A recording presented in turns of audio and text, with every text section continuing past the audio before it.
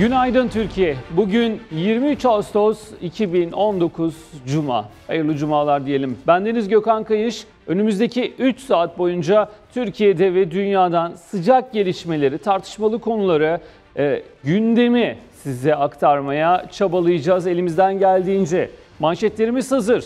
Manşetlerde seçim var. Yeni bir seçim. Ne seçimi olduğunu manşetlerden anlatacağız. Gelecek Haziran'da Türkiye'de bir seçim olduğunu öğreniyoruz manşetlerden. Detaylarını anlatacağız. Dün bahsetmiştik. Yüreğimize 3 kor düştü diye 3 fidanımızı kaybettik. Şehit verdik Şırnak'taki operasyonlarda. O 3 fidanı sonsuzluğa uğurladık. Manşetlerimizi alalım panomuza ve yeni günün ilk manşetleriyle gündemi tarif etmeye başlayalım. Şehitlere veda dedik efendim. 3 uzman çavuşumuz Ayhan Yanık, Mehmet Uçar ve Ferdi Güntekin. İşte onların sonsuzluğa uğurlanışı, cenaze namazları, neler yaşandı, ailelerin verdiği tepkiler hepsini haber, haberimizde aktarıyor olacağız. İdlib bitiyor. Bitiyor derken hani olumlu anlamda bir bitiyor değil. Hani sona doğru geliyor. Bitiş bitiş istikametinde. Ama asıl sorunu yaşayacak olan yine siviller. Çoluk, çocuk yollarda. Çoluk çocuk yollarda istikametleri de Türkiye. Türkiye'nin kaygıları vardı. Biliyorsunuz bu gerginliği azaltma bölgesi denilen bu organizasyonun o Soçi, Astana bu süreç içerisinde Rusya, İran, Türkiye oturduğu masaya Türkiye'nin derdi artık daha fazla sivilin ölmemesi ve Türkiye'ye, Türkiye istikametine yönelmemeleri. Birleşmiş Milletler'den 3 milyon sivil var dikkat edin. Bunlar yeni bir göç dalgasına neden olabilir denmişti. Bu gerçekleşiyor ama Esad ve Rusya'nın bu konuda umrunda değil. Şimdi şöyle de bir tartışma söz konusu. Ee, şimdi Türkiye Rusya ile işbirliği yapıp bu bölgede en azından yeni katliamların yaşanmasının önüne geçmek için, Türkiye'ye yönelecek yeni bir göç dalgasını engellemek için Rusya ile oturdu masaya e, ve bu Soçi Astana süreçleri vesaire derken orada bir e, en azından kontrollü bir mekanizma oluşturulmuştu. Ama e, Türkiye'nin Amerika Birleşik Devletleri ile oluşturduğu yeni barış koridoru e, bu bölgede dengelerin yeniden, taşların yeniden yerinden oynayabileceği ortaya çıkıyor gibi görünüyor efendim. Tüm detaylarıyla anlatacağız. Bakanın hedefinde Türk Hava Kurumu var. Şimdi akşamdan beri duyuyorum çevremden de bakıyorum. Şimdi e, biz haberleri hazırlanırken açıkçası e, editör e, arkadaşım Murat Aydın. Murat Aydın'la da oturduk konuşuyoruz. E, o da dedi ki yani sonuçta Türk Hava Kurumu da şimdi bakanın belki de haklı olabilecek bir çıkışı var. E, manşetlerde de var. Şimdi siyasileşme tartışması, Türk Hava Kurumu'nun siyasileşmesi tartışması. Elbette ki bakanın bu konuda bir serzenişi var. Onu Türk Hava Kurumu ile konuşacaktır ama Türk Hava Kurumu da sanki e, bakanın açıklamasından hani yabancı bir ülkenin kurumu gibi. Yani bakıldığı zaman bir e, ülke bu ülkenin bir bakanı, bu ülkenin bir kurumu 20 e, uçak değil 6, 6 uçak, bir uçak olsa da bu Türkiye'nin orman alanlarının heba edilmemesi göz göre göre. Şimdi ağaçları da geçtim canlılar var içinde ormanlık alanda. İşte görüyorsunuz bir kaplumbağa su içiyor. E, kuşlar yumurtalarını korumak için alevlerden kaçmamış. Yani öyle dramlar var ki ormanlık arazi içerisindeki o alevlerin içerisinde yaşanan. Yani bir uçak bile olsa insan hadi kaldır kardeşim şu uçağı da bu bir damla daha su atılsın buraya diyesi geliyor. Ama e, sanki Türk Hava Kurumu başka bir ülkenin kurumuymuş gibi e, bu anlaşma sürecinde yaşanan süreç nedir, neye tekabül eder e, iyi bakmak lazım ama açıklamada böyle de bir durum var. Herkesin dilinde var bu sokakta konuşuluyor şu anda. Dediğim gibi Murat Aydın da e, editör editörümle oturduk konuştuk gece. Yani Türk Hava Kurumu da bu ülkenin kurumu. Hani destek verilsin, uçaklar motoru yok deniyor, düzeltilsin. Ne yapılacaksa o yapılsın da biz bu orman yangınlarıyla sadece helikopterle boğuşmayalım. Elimizde böyle bir e, seçenek varsa onu da değerlendirelim diye düşünüyor insan. Toplumsal iyilik hali dedik. Yani Ee, bu ülkeden, bu coğrafyadan, bu Anadolu coğrafyasından umudumuzu kesmeyeceğiz. İnsanlık zaman zaman umudumuzu azaltan e, manzaralarla karşılaşmıyor değiliz ama e, işte böyle manzaralarımız da var. Tüm borçlarınız hayırsever bir vatandaş tarafından ödenmiştir. Borcunuz yoktur. Bir market biliyorsunuz e, bu ekonomi e, dalgalanması sırasında defterler böyleydi. Büyümeye başladı giderek ve kredi kartı kullanmayanlar da bu tabii ki geçerli. O hani e, mahalle bakkalı geçmişte çokça gittiğimiz bu e, zincir marketlerin olmadığı dönemden kalma o defterler var ya hani o defterler biraz e, kalınlaştı bu dönemde.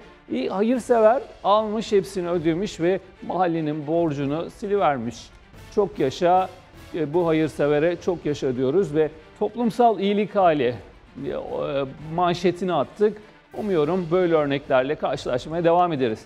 Çokça konuşacağımız, tartışacağımız konular var. Et. E, Sizce et ve süt kurumunun e, depolarında ne kadar et vardır diye bir soru soracak olsam. Ya da biz yurt dışından aldığımız etlerin hepsini piyasaya sürebiliyor muyuz? E, ne yapıyoruz bu etleri sorusunu sorsam cevabına siz de şaşıracaksınız. Hepsini detayıyla anlatacağım. Bunun için de Günaydın Türkiye'ye başlayalım.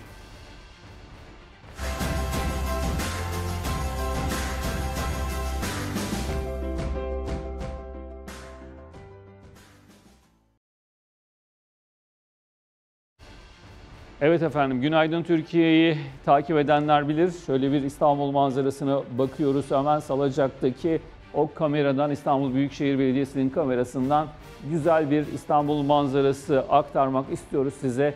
Tarihi Yarımada Topkapı surları hemen yanında Ayasofya Camii'nin, tarihi Ayasofya Camii ve Sultanahmet Camii ile günümüze, e, gündemimize başlıyoruz ama gündemimize ne yazık ki iyi bir haberle başlayamıyoruz. Ee, şehitlerimiz var. Türkiye Türkiye'nin şehitleri var. Üç kahramanını daha sonsuzluğa uğurladık. Vatan toprağına emanet ettik. O üç kahraman asker o vatan toprağına göz diken teröristlerle göğüs göğüse mücadele ederken şehit düştü. Dün sonsuzluğa uğurlandılar.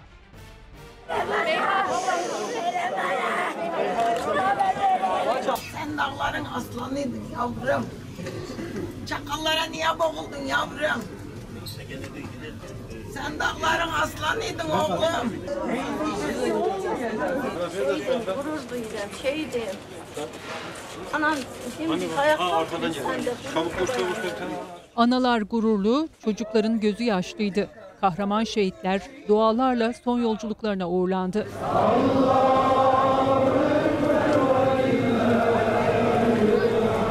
Şırnak'ta bir grup PKK'lı teröristin saldırısı sonucu 3 kahraman asker vatan uğruna şehadet şerbetini içti. Uzman çavuş Ayhan Yanık 26 yaşındaydı. Henüz 2 ay önce evlenmişti. İki abi gibi o da 3 yıl önce kutsal üniformaya giydi. Eşi yolunu gözlerken acı haberi geldi. Beyhan Yanık şehidini asker üniformasıyla karşıladı. Cenaze töreninde gözyaşları sel oldu aktı. Beyhan Yanık eşine son kez dokunmak istedi.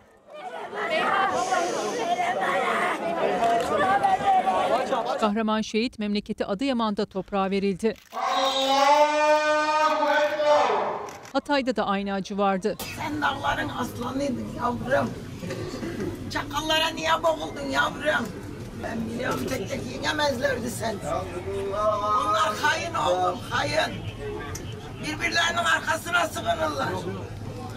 Güçleri yetmez bir Müslümana tek ederek gelmez. Jandarma uzman çavuş Mehmet Uçar'ı binler yalnız bırakmadı. Veda vakti tekbirler yükseldi. Kahraman şehit dualarla toprağa verildi. Uzman çavuş Muhammed Ferdi Gültekin, Şırnak'ta şehit olan 3 kahraman askerden biriydi. Cenaze töreni memleketi Erzurum'da düzenlendi. gurur duyacağım, şeydim. Anam şimdi ayakta sen de Öyle de yaptı. Annesi söz verdiği gibi dimdik durdu. Kimse ağlamayacaktı ama küçük kızının baba dediği an gözyaşları süzülüverdi. Yavrum bu bayrak Bak baba orada. Uzman çavuş olan abi Berat Erdi Güntekin de şehit kardeşiyle aynı bölgede görevliydi. Cenaze töreninde vakur duruşundan taviz vermedi. Kimseyi sevindirmeyin. Ağlamak yok. Erdi gider, Erdi gider, Yiğit Alp gider, herkes gider ama vatan kalır. Allah razı olsun. Benim oğlum var bir tane. Önce vatan. Vatansız hiçbir şey olmaz. Önce vatan. Erdimiz gider, erdimiz gider ama vatanımız çakıl taşını kimse alamaz. Şehit Güntekin bir kız babasıydı. 3 yaşındaki çocuğun baba diye seslendiği anda yürekler bir daha yandı. Kahraman şehit dualar ve gözyaşlarıyla sonsuzluğa uğurlandı. Esselamu aleyküm ve rahmetullah.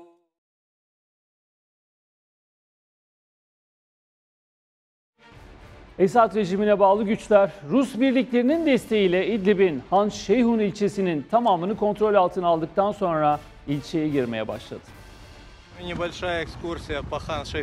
Rusya özel birliklerinin desteklediği Esad güçleri günlerdir ablukaya aldıkları Han Şeyhun'a girmeye başladı. Han Şeyhun'dan gelen görüntülerde Rus askerlerinin propaganda yaptıkları dikkat çekiyor. Şeyhun'e Я так давно мечтал попасть сюда, еще с 17. İdlib'e bağlı Han Şeyhun ve çevresinde rejimi destekleyen güçlerle muhalif gruplar arasında şiddetli çatışmalar yaşanmıştı. Ya Allah, ya Allah. Esad rejiminin İdlib'e düzenlediği son hava saldırısında 5 kişi hayatını kaybetmiş, 10 kişi de yaralanmıştı. Rejim güçlerinin saldırıları sonucu 945 binden fazla sivil bölgeyi terk etmek zorunda kaldı.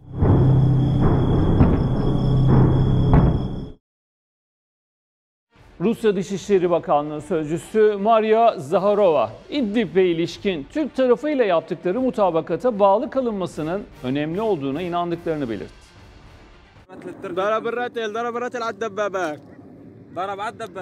İdlib'de durum gergin. Rusya destekli Esad güçleri ilerleyişini sürdürüyor. Türkiye son gelişmeleri yakından takip ederken Rusya'dan yeni bir açıklama geldi. Rusya Dışişleri Bakanlığı Sözcüsü Maria Zaharova, haftalık basın toplantısında İdlib'le ilgili varılmış tüm mütabakatlara tamamıyla bağlı kalınmasının önemli olduğunu düşünüyoruz dedi. Sözcü Zaharova bu mutabakatların hem teröristlerle mücadeleyi sürdürme hem de sivil nüfusun güvenliğini sağlama amacıyla düşünülmüş maddelerine bağlı kalınmasının önemli olduğunun altını çizdi. Zarova, biz de bu doğrultuda Türk tarafıyla Soçi mütabakatı çerçevesinde işbirliğimizi sürdürüyoruz dedi. Zarova ayrıca İdlib ve çevresinde tehlikeli bir gerilim gözlediklerini belirtti.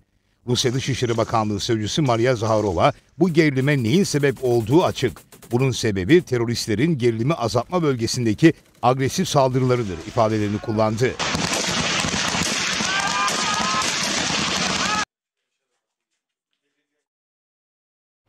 Sosyal medya gündemine de bakmak istiyoruz efendim. Bir kadın cinayeti daha yaşandı. Emine Bulut'tan bahsediyorum.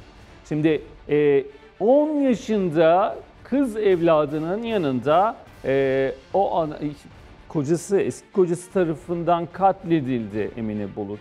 Ölmek istemiyorum dedi. Kızı anne ölme lütfen diye bağırdı. Ama bu cinayet gerçekleşti. Şu anda Twitter'da en çok tartışılan, konuşulan konulardan biri. Evet uluslararası siyaset var, yurt içinde siyaset var ama vatandaşın da bir gündemi var. Bu gündemlerden birisi de Emine Bulut'un cinayeti. E, Şule Çet biliyorsunuz Ankara'da ölümüyle çok tartışıldı. Cinayet mi, intihar mı, bilirkişi raporları vesaire. İşte onunla ilgili bir paylaşım var hemen aktarmak istiyorum. Emine Bulut çocuğunun gözü önünde öldürüldü. Şule'den sonra öldürülen 726. kadın. Pes diyorum. Yani ne oldu bize? Neden bu hale geldik? 726 kadın Şule Çetin ölümünden bu yana Türkiye'de öldürülen kadın sayısı. Çocuğunun gözü önünde öldürüldü. Evladı anne lütfen ölme dedi ama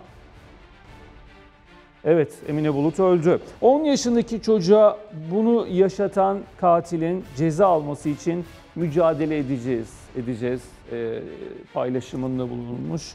Aralıklarla bu Twitter paylaşımlarını aktarıyor olacağım efendim buradan da. Gerçekten bu kadına yönelik şiddetin temelinde ne yatıyor tam olarak? Birden neden bu kadar büyük bir şiddet patlaması yaşadık? Bu bunun çokça araştırılıp devletin de önlemleri var gerçi. Çok çaba da sarf ediliyor bu konuda ama nedendir bilinmez. Bir türlü önüne geçilemiyor. E, Yasalarla ilgili değişiklik talebi de var. Bu konuyla ilgili olarak e, onu da aktarıyor olacağız. Gündemimizde devam edelim. İçişleri Bakanı Süleyman Soylu HDP'li kayyum tartışmaları var, devam ediyor biliyorsunuz. 3 belediyeye kayyum atanması ile ilgili konuştu. Soylu suçu işleyip seçimle atlanamazsınız dedi. Bakan Soylu terörle mücadelenin bilançosunu da açıkladı. Seçilmişlik elbette ki değerlidir. Ancak demokrasi bir truva atı değildir. Soylu kayyum atamaları ile ilgili gelen eleştirilere bu sözlerle cevap verdi. Eğer dağda silahlı mücadeleyi evlatlarımız veriyorsa, eğer sınır ötesinde bu ülkeye saldıranlara karşı can pahasına büyük bir mücadele yapıyor isek elbette bunu yapmak zorundayız. Çünkü o, o teröriste moral de mama da o belediyelerden geliyor. İçişleri Bakanı Süleyman Soylu, Kaçakçılık ve Koordinasyon Kurulu toplantısında konuştu. Gündeminde kayyum atanan Diyarbakır, Mardin ve Van Büyükşehir Belediyelerinin başkanları vardı. Üç günden beri bu adamlar veya bu kadın terör örgütüyle iltisakı, irtibatı, terör örgütü üye olması sebebiyle alınmıştır dendiği halde bizim böyle bir şey söz konusu değildir kimse demedi. Seçilmişlikten başka bir şey söylemiyorlar. Seçilmişlik elbette ki değerlidir. Ancak demokrasi bir truva atı değildir. Seçimler de bir hukuk mahkemesi değildir. Suçu işleyip seçime girerek yasalar karşısında atlanamazsınız. Soylu daha sonra sözü PKK ile mücadeleye getirdi. Yılbaşından bu yana yapılan terörle mücadeleyi rakamlarla açıkladı. Sadece yılbaşından beri 80.570 operasyon yapmışız. 635 PKK'lı teröristi etkisiz hale getirmişiz. Soylu, Avrupa'nın Türkiye'ye uyuşturucu sokarak PKK'nın para ağını desteklediğini de söyledi. Bu konuda etkin mücadelenin sürdüğünü belirten Bakan Soylu'nun bir başka değindiği konuysa sanal bahisti. Sanal bahisin Türkiye bütçesini söyleyeceğim. 50 milyar dolar. Ocakların çökmesi demektir.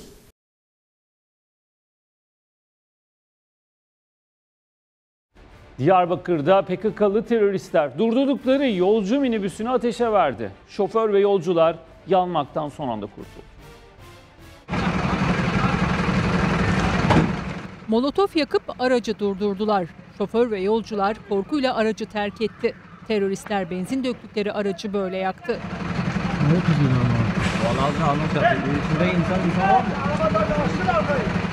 Görüntüler Diyarbakır'ın Kayapınar ilçesinden. Akşam saatlerinde terör örgütü PKK'lı bir terörist yol ortasında Molotov kokteyli yaktı.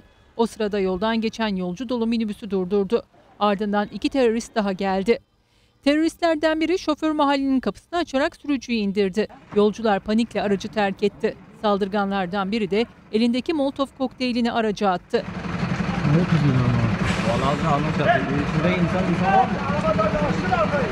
Minibüs aniden alev aldı. Yangın kısa sürede tüm aracı sardı. Teröristler bir süre sonra sloganlar attı. Sonra da olay yerinden uzaklaştı. Yangın itfaiyenin gelmesiyle söndürüldü. Güvenlik güçleri eşgalleri belirlenen teröristlerin peşine düştü. Yapılan operasyonlarda olaya karışan 4 terörist yakalanarak gözaltına alındı.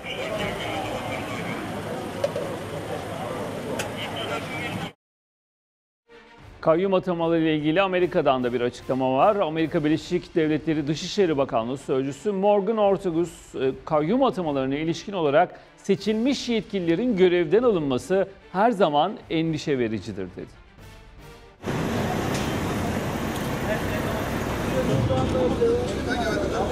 Amerika Birleşik Devletleri'nden Diyarbakır, Van ve Mardin Büyükşehir Belediyelerine kayyum atanmasına ilişkin açıklamalar geldi. So I think that um, we again ABD Dışişleri Bakanlığı Sözcüsü Morgan Ortagus, 3 belediyeye kayyum atanmasına ilişkin soruya seçilmiş yetkililerin görevden alınması ve yerine seçilmemişlerin getirilmesi her zaman endişe vericidir cevabını verdi. uh, are, are worried about his future, as they should. Türkiye'nin demokrasiye bağlılık çerçevesinde bu meseleyi çözmesini umut ediyoruz diyen Ortagus, Türkiye'nin Kürt azınlıkla olan ilişkilerinde her zaman hoşgörülü bir yaklaşımı teşvik ediyoruz ifadelerini kullandı. Um. Ortagus'un açıklamaları hem Türkiye'ye hem de Suriye'de terör örgütü PKK ve uzantısı YPG'ye destek veren Beyaz Saray'ın dengeyi tutturmaya çalıştığı yorumlarına neden oldu.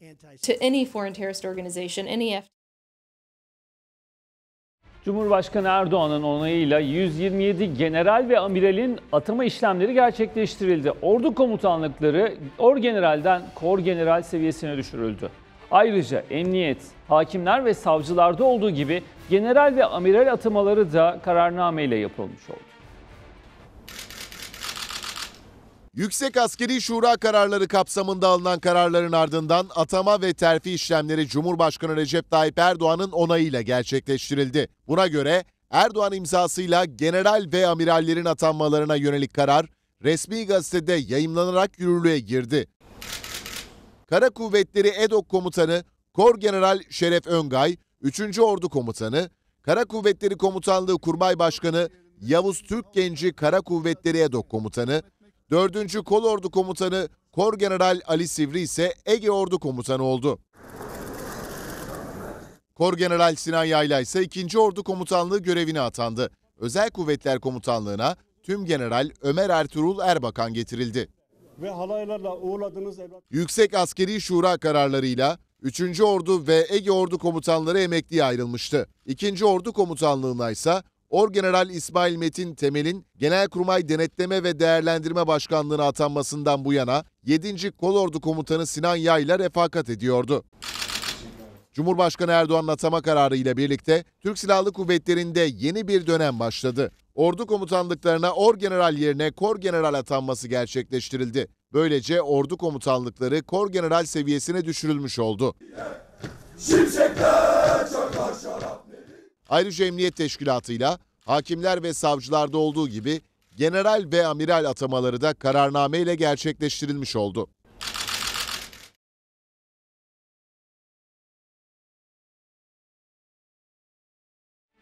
Yani hakikaten sabah sabah e, tüylerim diken diken oldu bu. Emine Bulut e, cinayetiyle ilgili olarak konuşuyorum efendim.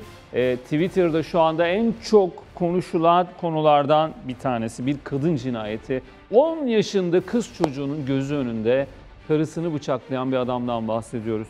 E, ülkemdeki insanların Hele ki bir kadının nasıl pamuk ipliğine bağlı yaşadığını, kendi öz evladını göremeyecek kadar canavarlaşan katilleri görün diye sesleniyor bir kullanıcı.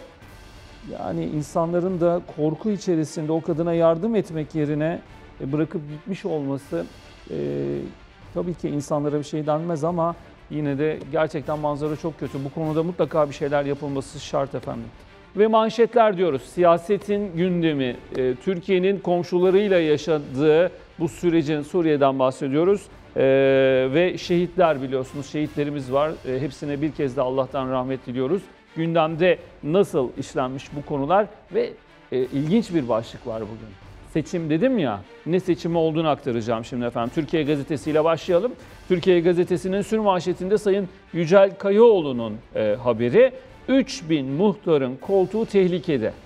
Seneye yine seçim var başlığı da kullanılmış. Seçimi kazanmasına rağmen okuma yazma bilmediği, adli sicilinde problem olduğu ve 6 aylık ikamet şartını taşımadığı gerekçesiyle bakın bu rakam da çok önemli. 3000'in üzerinde muhtarın mazbatasının iptal edilmesi gündemde diyor Türkiye Gazetesi. E, itirazların yarısı İstanbul seçimlerinde dengeleri değiştirdikleri için uzun süre konuşulan muhtarlar yine tartışmanın odağında. Yerel seçimlerden sonra Yüksek Seçim Kurulu'na 6000'in üzerinde itiraz başvurusu yapıldı. Bunların 3000'den fazlası ise muhtarlarla ilgili kurul dosyaları karara bağlamaya başladı diyor Yücel Kayaoğlu. Bunun sonucunda mazbatası iptal edilecek çok sayıda muhtarlık için 7 Haziran 2020'de yeniden seçim yapılacak. Ee, bu bilgi paylaşılıyor. Aynı anda diğer gazetelerde de var. Türkiye Gazetesi'nin sür manşetinde yer almış. E, 7 Haziran 2020 yani e, gelecek yılın Haziran ayında Türkiye yeni bir mini yerel seçime gidiyor gibi görünüyor efendim bu bilgilere bakacak olursak. Manşette ise şehitlerimiz var. Türkiye Gazetesi'nin manşet haberinde herkes gider, vatan kalır diyor. Şehitlerimize bir kez daha Allah'tan rahmet diliyoruz. Şehidin asker abisinin haykırışı bu. Herkes gider, vatan kalır. Silopi'de birlikte görev yaptığı uzman çavuş kardeşini şehit veren Erzurumlu Berat Erden'in sözleri teröre kurşun etkisi yaptı. Şırnak'ta PKK'nın şehit ettiği kahramanlarımızın son yolculuğuna uğurlandığı Erzurumlu şehit Muhammed Ferdi Güntekin'in abisi Berat Erdi Güntekin'le aynı yerde görev yaptığı ortaya çıktı. Kardeşinin tabutunu baba ocağına getiren acılı abi, o benim her şeyimdi. Ferdi gider, Erdi gelir. Geriye vatan kalır diyor. Allah razı olsun diyoruz bu açıklamalarından ötürü. Evet gördüğünüz gibi Mehmetçik dimdik ayakta ve e, Cumhurbaşkanı Recep Tayyip Erdoğan üniversite sınavı döneminde sıkça gündeme gelen yapışık ikizlerle bir araya geldi. E, Emin Erdoğan da orada. E, o fotoğraf karesi yer alıyor ama e, Erdoğan'ın gündeminde Kuzey Kıbrıs Türk Cumhuriyeti ve Doğu Akdeniz var. Erdoğan'dan Doğu Akdeniz mesajı diyor Türkiye Gazetesi. Türkiye ve Kuzey Kıbrıs Türk Cumhuriyeti olmadan proje olmaz. Türkiye 3 garantörden biridir ama hiç söz hakkı olmayanların bu burada tasarrufta bulunması bizi ilgilendirmez diyor Cumhurbaşkanı.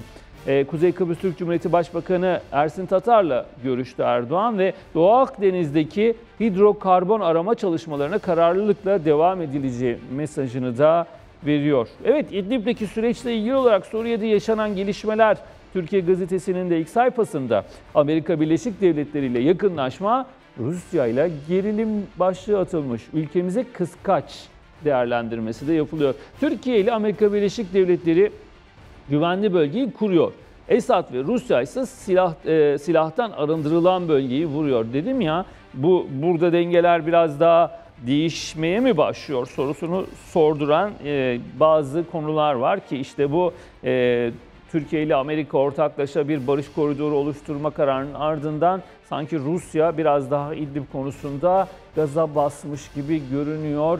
Ee, ve e, sanki Astana ve Soçi süreci yokmuşçasına hareketler yapıyor. Gerçi dün Rusya'da Dışişleri Bakanlığı'ndan gelen açıklama biraz daha ılımlı gibi görünse de e, sahadaki gelişmeler açıkçası terörle mücadele ediyoruz derken e, Esad güçlerinin e, artık Mehmetçi taciz atışlarına dönüşmüş durumda. 8. gözlem noktasına taciz atışları var. E, onu da aktarıyor olacağız efendim. Son olarak Türkiye Gazetesi'nin sürmanşetinden e, vatandaşın ekonomisini ilgilendiren bir başlık var. Yaz ayında bu ne pahalılık diye soruyor Türkiye Gazetesi. Limon e, gerçekten limon konusunda ben de e, fiyatları gördüğümde şaşkınlıkla bakıyorum. 10 lira diyor ama benim gördüğüm gittiğim yerlerde demek ki pazarlarda 10 lira. Bizim pazara gitme şansımız olmuyor bu ara. 11 12 lira 13 liradan kilosu limonun marketlerde yani basit mahalle marketlerinden bahsediyorum. 12 liradan limon satılıyor. Denetimler azaldı, fırsatçılar hortladı diyor Türkiye Gazetesi de. Yazın ortasında bazı ürünler ateş pahası. Burada bir denetim yapılması şart. Artık büyük şehirlerde mi bu sorun, hallerde mi ya da çıkış sürecinde mi yaşanıyor bilmiyorum ama yazın ortasında gerçekten inanılmaz rakamlarla limon satışı var. Etteki durumsa çok daha farklı. Gerçekten ben okurken şaşırdım. Size aktarırken eminim ki siz de çok şaşıracaksınız. Ee, Hürriyet gazetesi. Hürriyet gazetesinin manşetinde de bu seçim dedim ya Hürriyet, Türkiye gazetesinin e, sür manşetinden aktardık Sayın Yücel Kayaoğlu'nun 3000 muhtarın e, mazbatası iptal olmak üzereymiş ve tarih de belli. Yani 7 Haziran 2020 tarihi de artık önümüzde bir seçim var. Evet muhtarlık seçim ama seçim deyince açıkçası e, Türkiye'de bu süreç içerisinde başka bir şekilde dönüşür mü diye ilk anda insanın aklına da gelmiyor değil. Sonuçta 3000 muhtar için yeniden sandık vatandaşın önüne gelecek. E, Burada neden e, bu e, belgelerin yeterliliği, okuma yazma bilmesi işte o 6 aydır orada yani Yüksek Seçim Kurulu öncesinde yeterli inceleme yapamadı mı acaba? E, bu kadar çok geri dönüş olması da enteresan bir bilgi. Yüksek Seçim Kurulu 31 Mart'ta seçilen 50.300 muhtardan 3.000'ini gelen şikayetler üzerine incelemeye aldı diyor. Şartlara uymayan muhtarların mazbataları iptal edilecek bilgisini paylaşmış ama tekrar tekrar aynı konuyla ilgili seçim yapıyor olmak biraz Türkiye'yi sıktı diyor diye düşünüyorum açıkçası. Ee, özel okullar, okulların açılışına az kaldı. Bir franchise okul şoku haberi e, Hürriyet gazetesinin sür manşetinde ünlü bir zincir okulun alt markası olarak İstanbul Bahçeköy'de açılan okul bir yıllık eğitimin ardından kapandı. Okul işletmesine, işletmecisine parasını kaptıran, erken kayıt dönemini de kaçıran onlarca veli isyan ederek bu okulu kuran ana markaya başvurdu. Ancak oranın yönetimi kendilerinin sadece isim ve işletme hakkı yani franchising verdiğini, dolayısıyla yaşananlardan kendilerinin değil işletmenin sorumlu olduğunu söyledi diye bir açıklama yapmış ama neresinden bakarsanız bakın bu açıklama sallantıda efendim. Çünkü sonuçta çocuk var işin içinde. Aileler ne yapsın? Bir isme güvenip oradaki okula kaydettirip e, on binlerce lira para ödeyip üzerine bir de okullar açılırken okulsuz kalmak gerçekten sıkıntı verici bir süreç. E, denetimin daha çok yapılması lazım diye düşünüyorum bu süreç içerisinde. Çünkü yani e, özel okullarda ciddi de paralar ödeniyor. Yani öyle bir anda ha deyince alayım buradan hadi bir de burayı ödeyeyim diyebileceğiniz rakamlar da değil. Elbette ki aslında en güzeli e, mahalledeki okul. Hepimizin gidip orada yetiştiği gibi ama işte süreç bu şu anda biraz daha velileri buraya doğru yönlendiriyor. Tam gün eğitim sağlanamayan bölgeler var. Mecbur mecburiyetler var. Bu konuyla ilgili mecburiyetler var. Belki de en önemli değerlendirme bu. Kadın cinayeti diyoruz. Ee, az önce de ifade ettim. Şöyle bir kez daha bakacak olursak. Emine Bulut cinayeti e, sosyal medyanın şu anda en çok konuştuğu konulardan bir tanesi. E, bir anne katledildi, insanlık öldü. E, bir çocuğun ruhu ateşlere atıldı. E, bir anne katledildi, insanlar kaçtı. İzledi diyor bir kullanıcı Twitter'dan paylaşmış Emine Bulut cinayeti. İnsanlar o anda kanı görünce zannediyorum korkuyla kaçışıyor bana da bir şey olur mu diye ama yardım edilmemiş 10 yaşında bir kız çocuğu aman tanrım gerçekten e, manzara korkunç. Yani e, bunu çocuğunun önünde nasıl yaptın be adam diyesi geliyor insanın. Yani yine hiçbir şekilde yapılmamalı tabii ki ama bu, bu buradaki dram felaket. Bir felaket dramda efendim Balıkesir'de yaşandı. Maganda kurşunuyla Milliyet Gazetesi'nin manşetinde oradan geldi aklıma biraz da ee, yani insan bu, bu haberleri çocuk ölümlerini, kadın ölümlerini aktarmakta bile insan zorlanıyor açıkçası ama 6 yavrum daha var demiş annesi. Ee, Selin'in annesinden bahsediyoruz. Orada e, bir maganda kurşunuyla hayatını kaybetti Selin. E, 9 yaşındaydı. E, Erdek'te bir eğlence yerinde kavga çıkıyor ve ateşlenen e, silahtan çıkan bir mermi 9 yaşındaki Selin'in e, ölümüne neden oldu. Ailesi de organlarını bağışlama kararı aldı. E, kendilerine o insanlar için ben de teşekkür ediyorum. Şimdi 6 yavrum daha var diyor annesi ama tabii ki o annenin yüreğini sakinleştirmek mümkün mü? Değil. Kadına ve çocuğa yönelik bu şiddeti durdurmak lazım efendim. Bu maganda kurşunlarını durdurmak lazım. E, silahlanma, bireysel silahlanmayı teşvik etmekten vazgeçmek lazım diyoruz. Evet efendim bir e, gündemde e, bu biliyorsunuz Türk Hava Kurumu tartışması var. Bakanın açıklamaları var. Teşkilat bunlarla uçmak istemiyor değerlendirmesini aktarmış. Sayın Bakan Pakdemirli Ege'de orman yangınlarını Türk Hava Kurumu'nun yangın söndürme uçaklarıyla neden müdahale edilmediği tartışmalarına Orman Bakanı Pakdemirli noktayı koydu. Kim istiyorsa uçsun bunlarla. Bu iş çocuk oyuncağı değil. Teşkilatın bunlarla uçmak istemiyor. Nokta diyor Sayın Bakan. Ee, burada aynı konuyla ilgili manşet haberi Yeni Şafak'ta Türk Hava Kurumu CHP'nin arka bahçesi olmuş. Bakanın değerlendirmesi bu. Siyasi tartışma başka. Türk Hava Kurumu'nun e, siyasete bulaşıp bulaşmaması başka ama e, ormanlar yanarken e, uçak varsa motoru da çalışan e, onların kalkmaması başka. Şimdi e, ayrı ayrı konuları tartışıyoruz. Burada tartışılması gereken konu şu. Çalışmıyorsa da e, bu ülkenin e, bu ülkenin kurumu Türk Hava Kurumu. Sonuçta 1925'ten bu yana hatta doğal üyeleri arasında işte Cumhurbaşkanı, komutanlar vesaire hani e, öyle hani yabancı bir ülkenin bir gizli servisi değil. Türk Hava Kurumu'ndan bahsediyoruz. Eğer bu ülkenin e, uçağı çalışmayan bir Türk Hava Kurumu söndürme uçaklarından bahsediyorum varsa buna uygun bir e, yatırım yapılarak sonuçta bu uçaklar ya yenilenir ya yenisi alınır ya da bunlar tamir edilir ama tabii Türk Hava Kurumu'nun da başka telden çalıyor. E, bakanlığın açıklaması çok farklı ama sonuçta olan kim oluyor? İşte gördük ağaçlar gitti, hayvanlar öldü, yüzlerce, binlerce canlıdan bahsediyoruz. Bir uçak bile olsa kalkıtsa, iki su atsa, yani e, dökse oraya kime ne zararı var diye de vatandaşın aklından geçen bu açıkçası. Ben akşamdan beri 10 kişiyle konuştuysam 10 kişi de neden acaba diye sormadan geçemiyor. Evet efendim İstanbul'dan bir haber var. E, temizlik bahane, kum hırsızlığı şahane. Yeni Şafak'tan bahsediyoruz. Kıyıköy'de balıkçı barınaklarını temizleme bahanesiyle gelen gemiler deniz tabanındaki tonlarca kumu çalarak İstanbul limanlarında satıyor.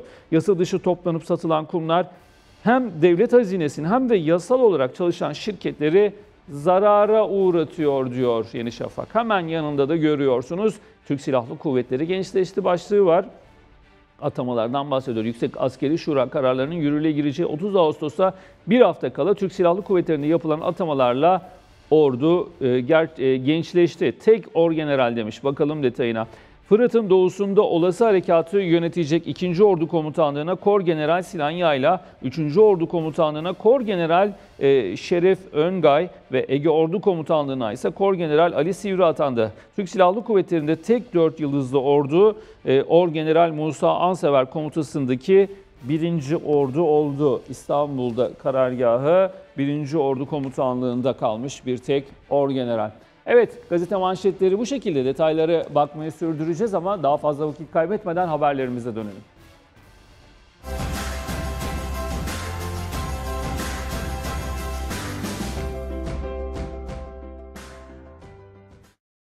İzmir'deki yangın tartışılmaya devam ediliyor. Türk Hava Kurumu'na ait yangın söndürme uçaklarının kullanılmaması da tartışmalara neden oldu. Tarım ve Orman Bakanı Bekir Pakdemirli, Türk Hava Kurumu'nun uçaklarının işe yaramadığını savunarak kullanmak zorunda değiliz dedi.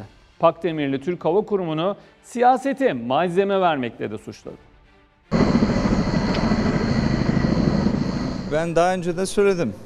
Yani kim uçmak istiyorsa uçsun bunlarla. Tarım ve Orman Bakanı Bekir Pakdemirli, Türk Hava Kurumu'na ait yangın söndürme uçakları ile ilgili çağrısını tekrarladı.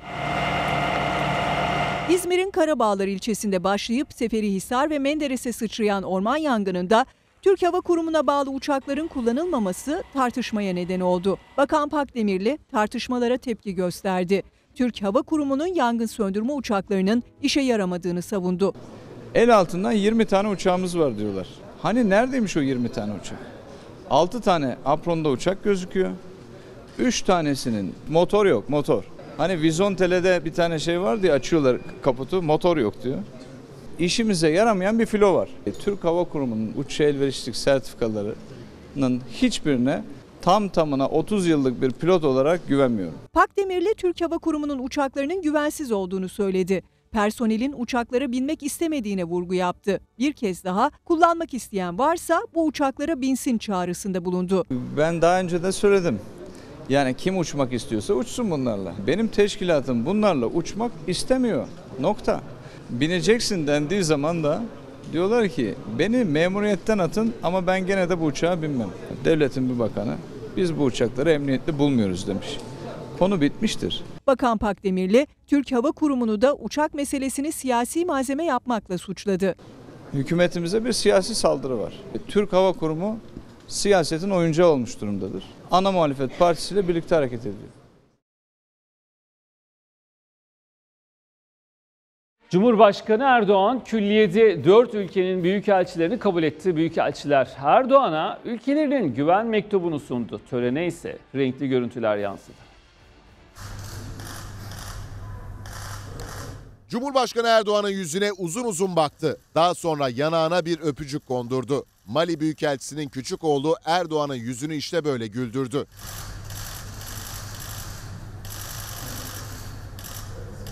Endonezya, Filipinler, Irak ve Mali. Dört ülkenin yeni Ankara Büyükelçileri Beştepe'deydi. Cumhurbaşkanı Erdoğan'a güven mektubu sundular. Erdoğan'ın Mali Büyükelçisi Ali İbrahim'i kabulünde kameralara renkli görüntüler yansıdı. Erdoğan Büyükelçinin 4 yaşındaki küçük çocuğu Amadu'yu kucağına aldı, yanağından öptü. Küçük çocuk Erdoğan'ın sevgisini karşılıksız bırakmadı. O da Erdoğan'ı yanağından öptü. Erdoğan'ın kabul trafiği diğer büyükelçilerle devam etti. Cumhurbaşkanı Erdoğan, Endonezya Büyükelçisi Lalu Muhammed İkbal'i kabul etti. Büyükelçinin eşi ve çocuklarıyla tokalaştı.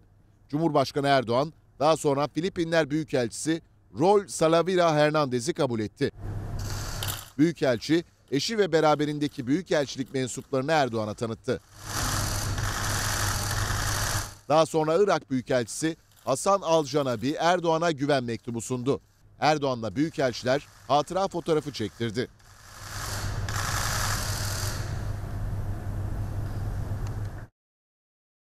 Sevgili seyirciler, Türkiye sağlık sektöründe oldukça gelişmiş durumda. Ancak çoğu hasta ve hasta yakını kendisine sunulan haklardan haberdar değil. Evet aslında hemen hemen hiç kimse hakkını bilmiyor. Günümüzde çoğu hasta maalesef haklarından ve alabileceği sağlık hizmetinden habersiz. Birçok sağlık imkanı var ancak vatandaş nasıl yararlanacağını bilmiyor. Mesela genetik rahatsızlıklarla dünyaya gelen çocuklarımız var. Ee, Bunların raporlarla mamaları ve bezleri devlet tarafından karşılanıyor. Ee, Hasta yakını çocukla uğraşmaktan bu haklarını yeteri kadar araştıramıyor ve bir haber bir şekilde dolaşıyor. Halbuki bizim kanunlarımız hasta ve hasta yakınını koruyacak şekilde dizayn edilmiş. Eğer ki araştırırlarsa merkez içlerinde çok daha rahat bir süreç geçirirler. Türkiye sağlık hizmetinde artık önde gelen ülkeler arasında. Son 15 yılda sağlıkta değişim ve dönüşüm yaşandı. Ancak hasta ve hasta yakını alacağı sağlık hizmetinden ve haklarından haberdar değil. En büyük eksiklik araştırmamak. Her hastanın ayrı hakları var, toplu haklar var. Örneğin kanser hastalarının gıda takviyeleri gibi. Bu konuda e, çok az talep var. E, ama kemoterapi ve radyoterapi alan hastalarda e, muhakkak alınması gereken bir gıda takviyesi. Hatta yurt dışında ücretsiz sağlık tedavisi bile mümkün. Kişinin hastalığına uygun olan tedavi bu ülkede yoksa ve herhangi bir ülkede bununla alakalı bir tedavi varsa SGK hastayı oraya gönderme zorunluluğunda. E, tüm masrafları SGK karşılıyor. Uçak biletinden konaklamasına kadar günlük harcırah veriyor. Aldığı tüm sağlık masrafını SGK ödüyor bu durumda. Hastalığın tedavisi kadar haklarından haberdar olmak da bir o kadar önemli. O zaman süreç daha kolay ilerliyor. Her zaman hastane içerisine girdiğinizde duvarlarda e, afişler görürsünüz. Bu afişleri her zaman inceleyerek okusunlar. Hem hakları yazıyordur orada. Bu konuyla ilgili hastaneye gittiklerinde kesinlikle sağlık personeline soru sormaları lazım. Ve şüpheli bulundukları bir durumda da karşı karşıya kaldılarsa eğer bir mere cimere yazıp durumu bildirebilirler. Bu durum sağlık alanında yeni bir sektörü de doğurdu. Artık vatandaşa hasta koçu yön gösteriyor. Ağır vakalarda hastane sürecini yönetmek aslında bir profesyonelin yapması gereken bir durum.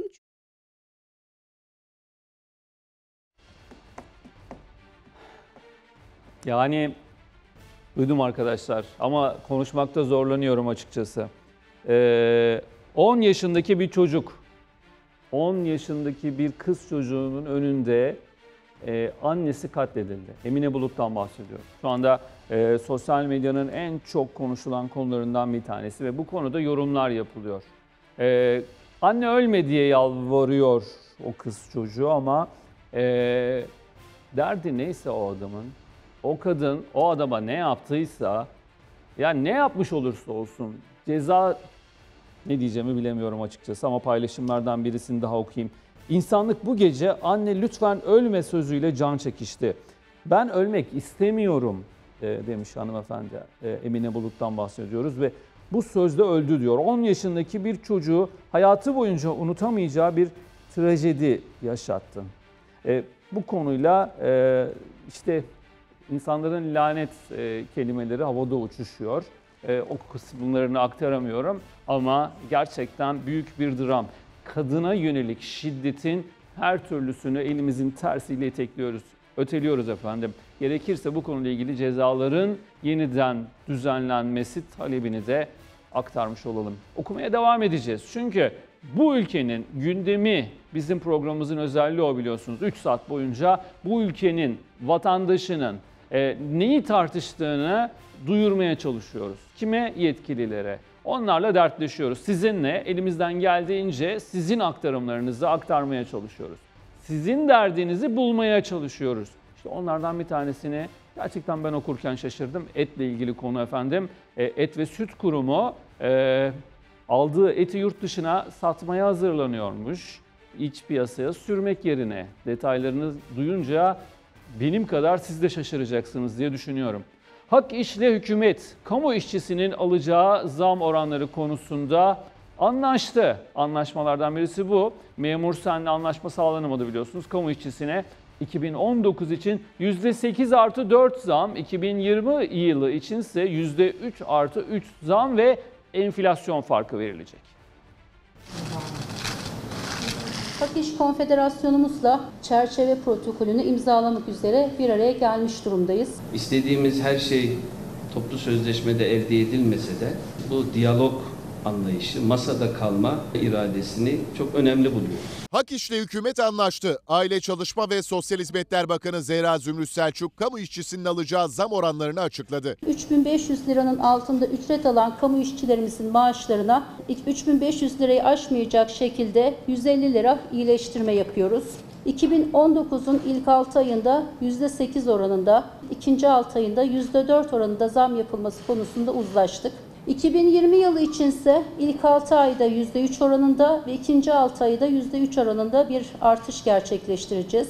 Üzerinde uzlaştığımız bu zam oranları enflasyon altında kalırsa da enflasyon farkında almaya devam edecekler. Aile Çalışma ve Sosyal Hizmetler Bakanlığı'yla Hak İş kamu işçisinin 2019-2020 yıllarında alacağı zam oranları üzerinde anlaştı.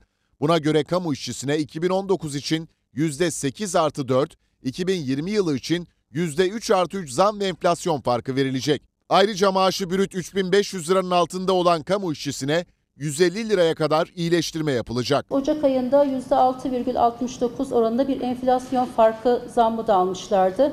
2019 yılı içerisinde bu uzlaştığımız zamlarla beraber değişim oranı %19'u aşmış durumda olacak. 2019'un ilk 6 ayı için geçerli olan %8'lik zam işveren tarafından kamu işçilerine kademeli olarak verilecek. Süreç Hak İş tarafından takip edilecek.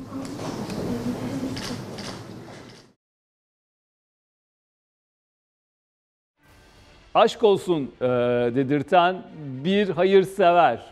Yani biz insanlık, insanlık başlığını manşetine atmıştık biliyorsunuz. Antalya'da bu defterler biraz kalınlaşmış durumda bu ara.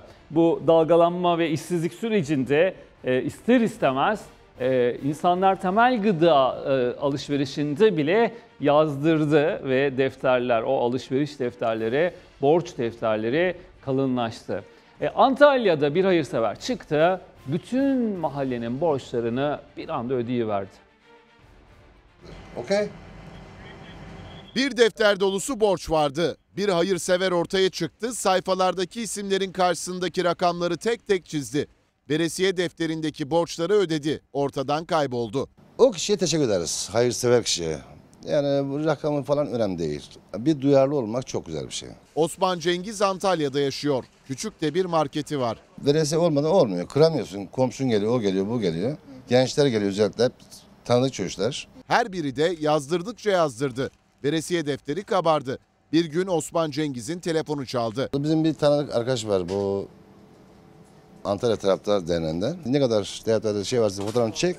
Ben birisi hayırsever birisi bunu ödemek istiyor dedi. Osman Cengiz de fotoğrafını çekti, arkadaşına gönderdi. Dakikalar sonra para hesabına yattı. Bir hayırsever Osmanlı geleneğini devam ettirdi. 200 kişinin borcunu ödedi.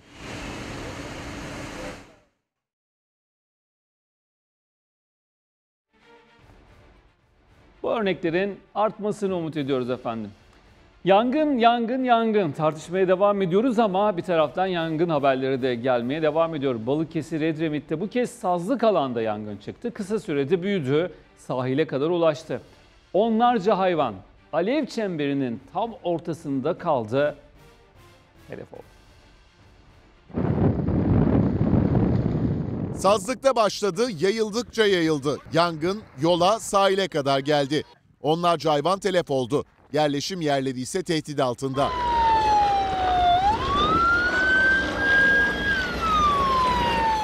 Alevlerin yükseldiği yer bu kez Balıkesir Edremit'teki sazlık alandı. Bir anda tutuştu.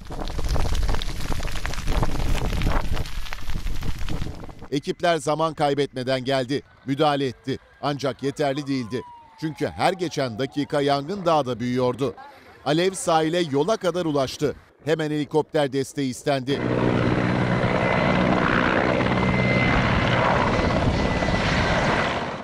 Yangın söndürme helikopterleri peş peşe hemen havalandı. Denizden su dolduruldu. Alevlere döküldü.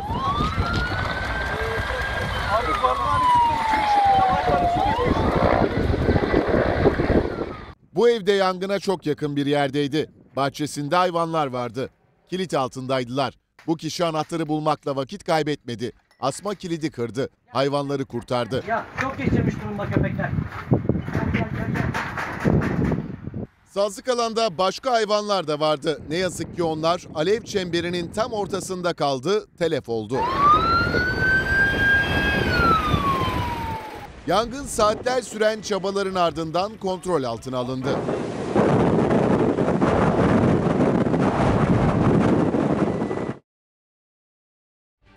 Canlı yayında boşnaklara hakaret eden Rasim Ozan Kütahyalı'nın yeniden ekranlara dönmesi tepkilere neden oldu.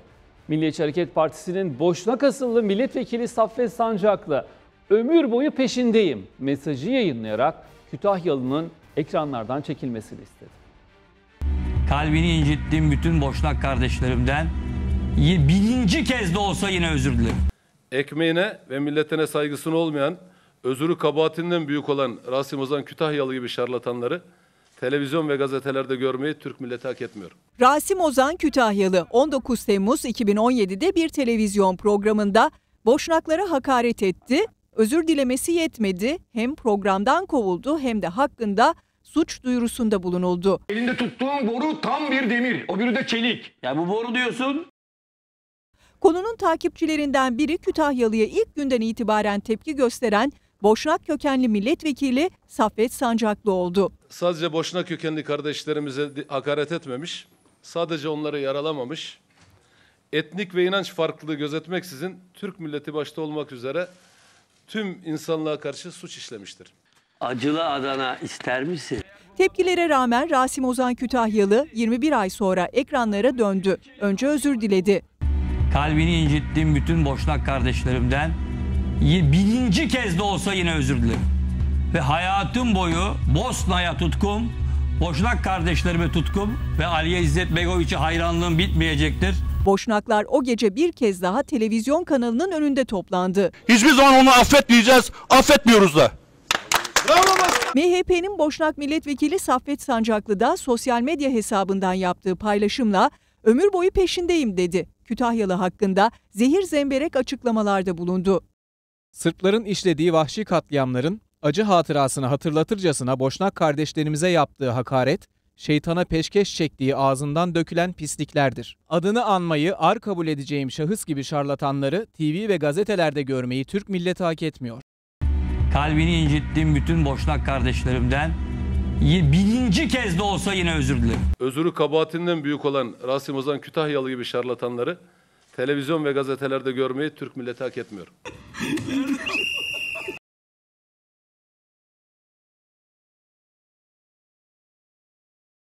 Evet şimdi ödül zamanı efendim. İşte bu 3 isim TGRT'den 3 isime birden e, ödül verildi. Türkiye Vizyon Ödülleri sahiplerini buldu. TGRT Haber'e 3 ödül arkadaşlar ödüller. O ödüller Türkiye Vizyon ödüllerinden TGRT Haber'e geldi. Türkiye Vizyon ödüllerinin teması toplumun kanayan yarası olan şiddetti. Ödül alan herkesin dilinde şiddete tepki vardı. Kadına şiddette söylenebilecek belki de en güzel sözler Kerem Alışık'tan geldi. Şiddetli bir aşktan başka kadına hiçbir şiddet uygulanmamalı bence. Ödül alanlardan biri de aşk şiirlerinin yazarı Ahmet Selçuk İlkan'dı. Onun da kadına şiddete yönelik söyleyecek sözleri vardı. Kadınlara mutlaka bir söz söylemeniz gerekiyorsa bence sadece şiir söyleyin. Çünkü kadınların kendisi zaten şiirlere ilham veren bizim en büyük ilham kaynaklarımızdır. Türkiye Vizyon Ödülleri sağlıktan sanata, müzik dünyasına, turizmden gayrimenkul, güzellik, moda sektörüne kadar sahiplerini buldu. Tabii ki bunların içinde sosyal medya ve medya ödülleri de vardı. Medya ödüllerinden 3'ü TGRT Haber'e geldi. İlki 3 yıldır TGRT Haber'de ekrana gelen Dün Bugün Yarın adlı programa verildi. Geçen sezon özellikle e, savaş bölgelerinde cinsel şiddete uğramış kadınların hikayelerini ekrana getirdik. E, uluslararası e, konferanslara katıldık. O konferanslarda konuşulanları ekrana taşıdık. Aslı Gül Atasagun Çebi yaptığı röportajlar ekrana taşıdığı gerçek hikayelerle en iyi haber programı ödülünü aldı. Buradan e, başta Aslıhan Ören olmak üzere tüm TGRT ekibine teşekkür ediyorum. Yılın en iyi kadın muhabiri ödülü TGRT Haber Merkezi'nden Özay Erat'a verilirken TGRT Haber spikeri Mehmet Aydın da yılın haber spikeri ödülünü aldı. İyi akşamlar diliyoruz. Tabii kadına şiddet haberlerini sunmayacağımız, haberleri ekranda okumayacağımız günlere dönmek istiyoruz. Bu ödülü TGRT Haber çalışanları adına alıyoruz efendim. Törenin sonunda herkes evine Türkiye Vizyon ödülleriyle dönerken TGRT Haber ekibi de 3 ödülü TGRT Haber'e getirdi. Gururluyuz, mutluyuz. TGRT Haber'e teşekkür ediyoruz. Programlarımız devam edecek. Evet, tüm ekibimize teşekkür ediyoruz. Genel yayın yönetmeninden, haber müdüründen, editör arkadaşlarımızdan, rejideki arkadaşlarımıza kadar çok büyük bir ekibiz. Tabii e, çok değerli patronumuzu Aslan Ören'i de unutmamak lazım. Onun da bize katkıları çok büyük. Çok geniş bir sağ açıyor bize. E, bu ödüller hakikaten bizi e, mutlu kılıyor, mutlu addediyor. Yarınlara daha güzel bakmamızı sağlıyor. TGRT Haber ekibine teşekkürlerimi sunuyorum.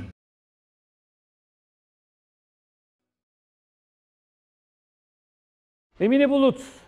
Emine Bulut ülkenin gündemi olmaya devam ediyor. İşte bu sözle anne lütfen ölme. 10 yaşındaki bir kızcağızın o yakarışı, e, annesinin o durumu, insanların çevresinden kaçışarak gitmesi sosyal medyanın da en önemli gündem maddesi olmaya devam ediyor. Bu kadına yönelik şiddet e, Türkiye'nin gündemi olmaya devam ediyor. Gündemimizden çıkartabilmemiz için artık bununla ilgili düzenlemelerin yapılması şart. Boşandığı eşini 10 yaşındaki çocuğun gözü önünde feci şekilde katletti efendim. Evet boğazını tutarak ölmek istemiyorum diye bağıran bir kadın, annesine sarılıp anne ölme diye ağlayan bir çocuk videoyu paylaşmaya yüreğim dayanmaz ama bu canavarlığı unutmayın diyor e, Emiray Pekcan attığı tweetinde. Evet sosyal medyayı da takip edip sizin duygu ve düşüncelerinizi aktarmaya çalışıyoruz ama şimdi kısa bir aramız var.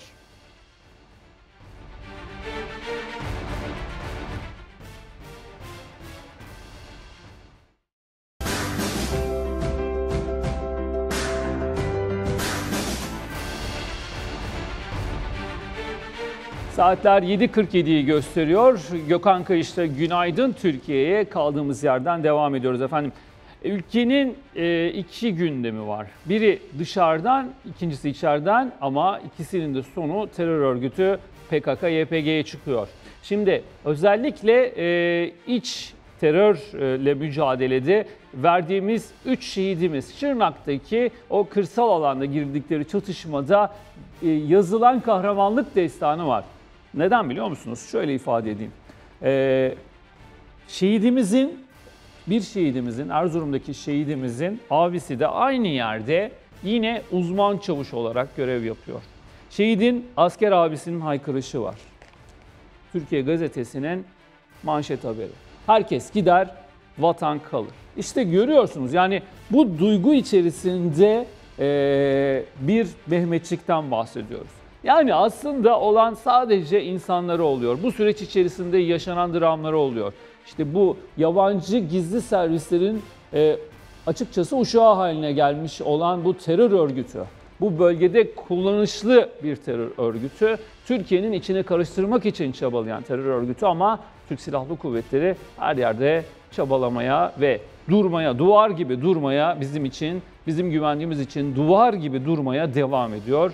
Durmaya da devam edecek elbette. İkinci başlığımız ise Suriye. Suriye'de de aynı süreç içerisinde biz barış koridoru derken e, Amerika Birleşik Devletleri ile buradaki yakınlaşma görüntüsü Rusya'yı sanki birazcık gaza basmaya itti. Ya da e, en azından dışarıdan bakıldığı zaman fotoğraf bu şekilde okunuyor, e, görülüyor diyebiliriz. Çünkü İdlib'de Rus askerlerinin e, Ohan Şeyhun'a giriş görüntülerini kendilerinin servis ettiğini de hatırlatacağız. Manşetlerimizi alalım. Manşetlerimizle gündemi tarif etmeye devam edelim. Evet Akdeniz'de aramalar sürecek. E, Türkiye'nin uzun zamandır en önemli tartışma konularından bir tanesi de Doğu Akdeniz'deki e, doğal gaz yatakları.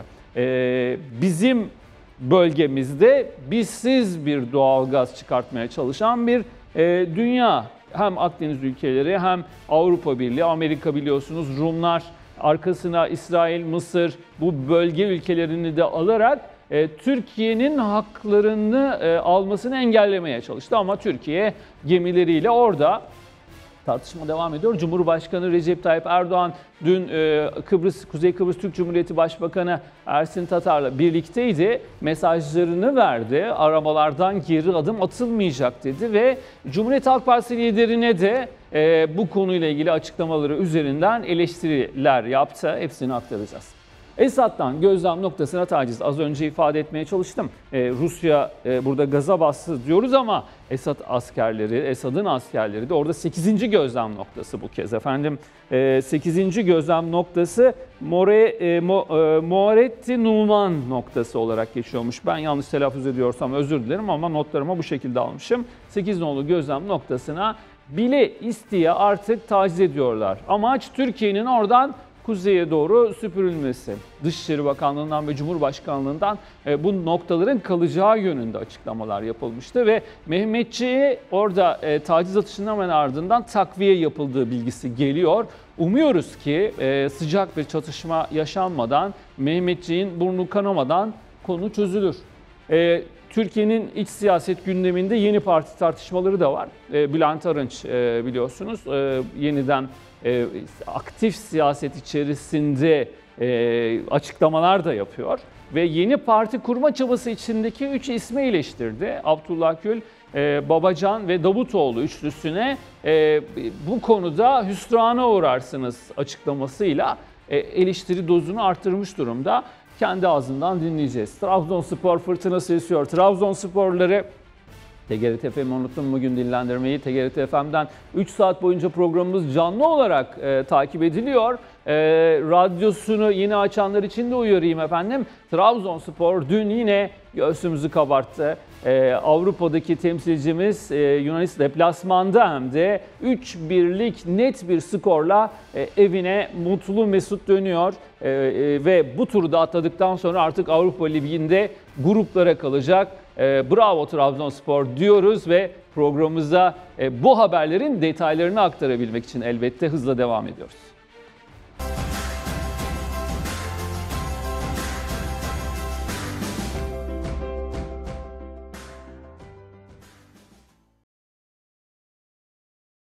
Cumhurbaşkanı Recep Tayyip Erdoğan, Kuzey Kıbrıs Türk Cumhuriyeti Başbakanı Ersin Tatar'la ortak basın toplantısı düzenledi. Cumhurbaşkanı Erdoğan Doğu Akdeniz'de arama çalışmalarına aynı kararlılıkla devam edileceğini vurguladı. Kendi haklarımızı nasıl savunuyorsak Kıbrıs Türklerinin adadaki ve bölgedeki çıkarlarını da aynı kararlılıkla savunmaya devam edeceğiz. Cumhurbaşkanı Erdoğan Doğu Akdeniz'de kararlılık mesajı verdi. Doğu Akdeniz'de ne Türkiye'yi ne de Kuzey Kıbrıs Türk Cumhuriyeti'ni yok sayan hiçbir proje hayata geçirilemez. Ülkemizin bu konudaki kararlılığını sınamak isteyenler şu ana kadar gerekli dersleri almış olmalıdırlar. Şayet yaşananlardan hala ders almayanlar varsa onlara da gereken cevapları vermekten çekinmeyeceğimizin bilinmesini isterim. Cumhurbaşkanı Recep Tayyip Erdoğan Kuzey Kıbrıs Türk Cumhuriyeti Başbakanı Ersin Tatar'la Beştepe'de bir araya geldi. Gündemde Doğu Akdeniz'deki sondaj gerilimi vardı. Erdoğan Rumların uzlaşmaz tavrına ve Avrupa Birliği'nin tutumuna tepki gösterdi. Avrupa Birliği'nin adadaki sorunun çözümü konusunda Birleşmiş Milletler'e ve uluslararası topluma verdiği sözlerin hiçbirini tutmayan Kıbrıs Rum kesiminin yanında yer alması kendi ayıbıdır. Doğu Akdeniz'deki hidrokarbon arama faaliyetleri sebebiyle ülkemize ve Kuzey Kıbrıs Türk Cumhuriyeti'ne yönelik sözde tedbirler açıklayan Avrupa Birliği bu tavrıyla bize değil kendisine zarar veriyor. Cumhurbaşkanı Erdoğan, Doğu Akdeniz'de bir tek Türkiye yok diyen CHP Genel Başkanı Kılıçdaroğlu'na da sert sözlerle yüklendi. Üzülerek söylüyorum. Ülkemizde ana muhalefet partisinin başındaki zat maalesef oradaki silahlı kuvvetlerimize ait gemilerimizi bunun yanında sondaj ve sismik araştırma yapan gemilerimizi herhalde başka yabancı düşman bayraklarla karıştırmak suretiyle bizim orada bulunmadığımızı söyleyecek kadar gözü var ama görmüyor. Her şeyden önce kendisini bir gözden geçirmesi lazım.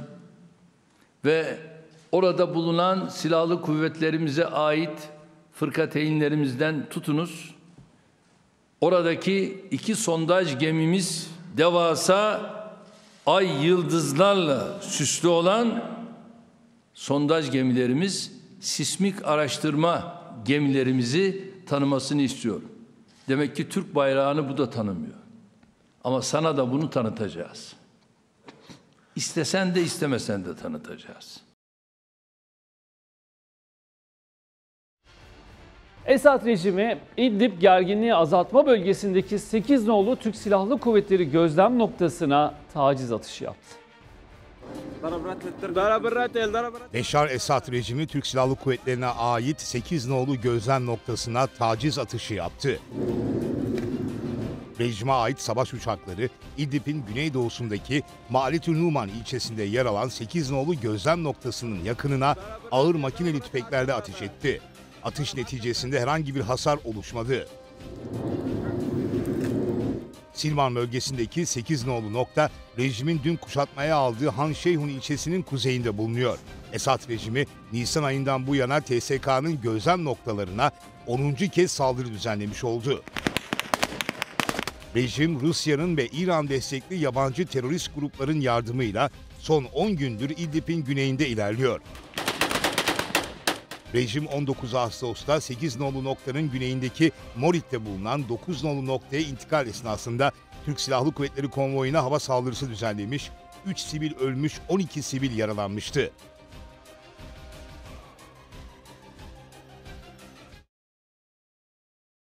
Mehmetçik milli tüfekle gücüne güç katıyor. Türkiye'nin yerli ve milli piyade tüfeği MPT-55'in seri üretimi devam ediyor. Hassas görevlerin güçlü silahı MPT-55 düşmana korku salıyor.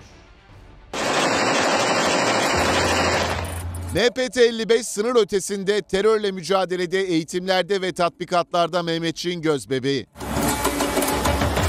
Yerli ve milli silahların sayısı artıyor.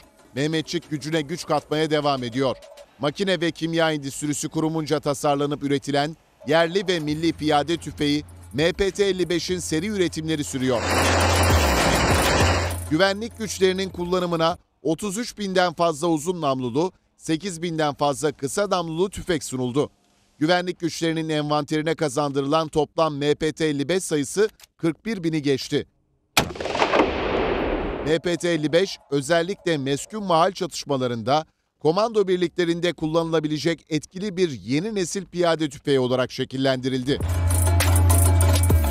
Milli tüfek yüksek atış kabiliyeti, benzerlerine göre hafif ve etkili bir silah olma özelliğiyle ön plana çıkıyor. MPT-55 TSK'nın ihtiyacına göre özgün muharebe ortamında gece ve gündüz her türlü arazi ve hava şartlarında kullanılabiliyor. Ağırlığı 3000-3300 gram olan tüfekte dakikada 850 atım gerçekleştirilebiliyor. İki atış modu bulunan MPT-55'in etkili menzili 400 metreyken maksimum menzili 3600 metreye ulaşıyor.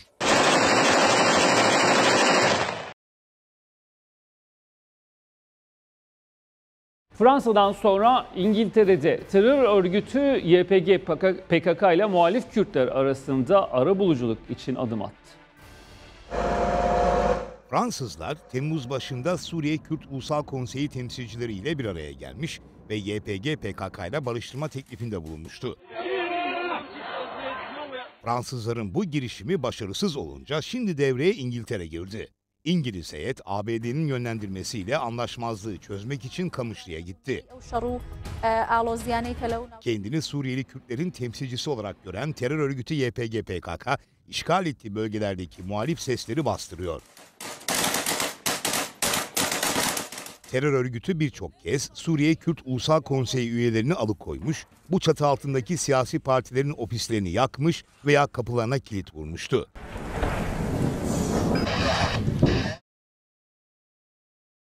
Cumhurbaşkanlığı Yüksek İstişare Kurulu üyesi Bülent Arınç, yeni parti kurma hazırlığı içinde olduğunu açıklayan 3 isim e, Abdullah Gül, e, Ali Babacan ve Ahmet Davutoğlu'nu e, ciddi bir şekilde eleştirdi. Şimdi açıklamalarını dinliyoruz. Şimdi biraz yaralıyız. Biraz sıkıntılarımız var. Kendi içinde çözülmeler var. Bunları tekrar toplamamız lazım. Cumhurbaşkanlığı Yüksek İstişare Kurulu üyesi Bülent Arınç, AK Parti'deki durumu ve yeni oluşum çalışmalarını bu sözlerle değerlendirdi. Arınç, AK Parti'nin 18. kuruluş yıl dönümünde bir dönem birlikte siyaset yaptığı isimleri uyardı. Yani bu arkadaşlar parti kuracaklarmış dendiği zaman şahıslarını çok seviyorum. Ama çok büyük hata yaparlar. Eski Başbakan Yardımcısı Ali Babacan yeni parti çalışmaları için AK Parti'den istifa etti. Babacan 11. Cumhurbaşkanı Abdullah Gül'ün desteğiyle hazırlıklarına devam ediyor. Eski Başbakan Ahmet Davutoğlu da yeni parti kurma çalışmalarını hızlandırdı. AK Parti'nin kuruluşundan bu yana kilit isimlerden biri olan Bülent Arınç, eski dava arkadaşlarını uyardı. Geçmişte partiden ayrılıp başarısız olan isimleri hatırlattı. Erkan Mumcu gitti parti kurdu. Arkasından İdris Naim Şahin gitti parti kurdu. Arkasından Abdüllatif Şener gitti parti kurdu. Şu gitti bu gitti hiçbirisine millet selam bile vermedi. Partilerini kapattılar. Ama o zaman bizim çok güçlü bir zamanımızdı. Bizim gövdemiz tek başına yüzde elliydi. Yel kayadan ne koparacak? Üfürük gibi gittiler. Birilerinin efendim işte yol göstermesiyle veya desteğiyle sen AK Parti'ye parti kur, iktidar bile olursun deyip de onların sözlerine bakarak karşımıza çıkıp parti kurarlarsa millet onları affetmez. Meclis Başkanlığı ve Başbakan Yardımcılığı gibi kritik görevlerde de bulunan Arınç, AK Parti ile ilgili öz eleştiri yapmayı da ihmal etmedi. Şimdi biraz yaralıyız. Biraz sıkıntılarımız var. Kendi içinde çözülmeler var. Bunları tekrar toplamamız lazım. Arınç yeni sistemde yüzde birlik oy oranının bile önemli olduğuna dikkat çekti. Yeni kurulacak partilerin AK Parti açısından risk teşkil edebileceğini işaret etti. Şu haliyle bile bizim yüzde kırklık bir oyumuz var. Öbürleri bizim eteğimize bile yetişemiyor. Ama bah tutansın artık yüzde birin bile bir kıymeti var. Biz eski sistemde bugünkü halimizde bile her seçimde iktidar oluruz. Tekrar geriye dönüş de düşünülmediğine göre bizim şimdi zoru başarmamız lazım. Yüzde elli artı bir. Bu imkansız mı? Hayır imkansız değil.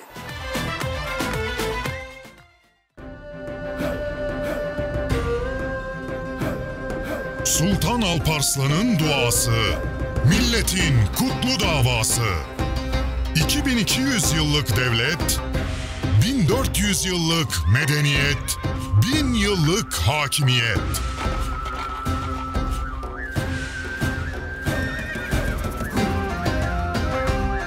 Tek millet, tek bayrak, tek vatan, tek devlet. Başkan 26 Ağustos'ta Malazgirt'te. Okçular Vakfı, Türkiye Cumhuriyeti Cumhurbaşkanlığı himayelerinde.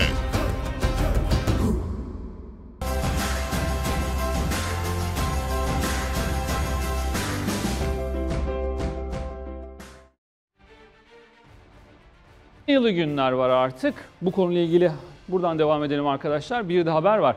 Şimdi Milli Eğitim Bakanı e, Sayın Ziya Selçuk'un e, tweetini paylaşacağım ama e, ciddi bir sorun söz konusu. İstanbul'da bir özel okul. Franchise şok, okul şoku diyor Hürriyet Gazetesi'nin sür manşetindeki haberde. Ünlü bir zincir okulun alt markası olarak İstanbul Bahçeköy'de açılan okul bir yıllık eğitimin ardından kapandı. Şimdi ama e, bu okul kapanmadan önce okul işletmecisi e, velilerden paraları topladı. E, kayıtlar yapıldı. Sonra ortalıktan kayboldu. Velilerin bir isyanı var bu konuda. Okulu kuran ana markaya gidiyorlar. Diyorlar ki böyle böyle biz paraları ödedik. Şu anda okul kapattı e, ve bir markanıza güvenerek bu işi yaptık.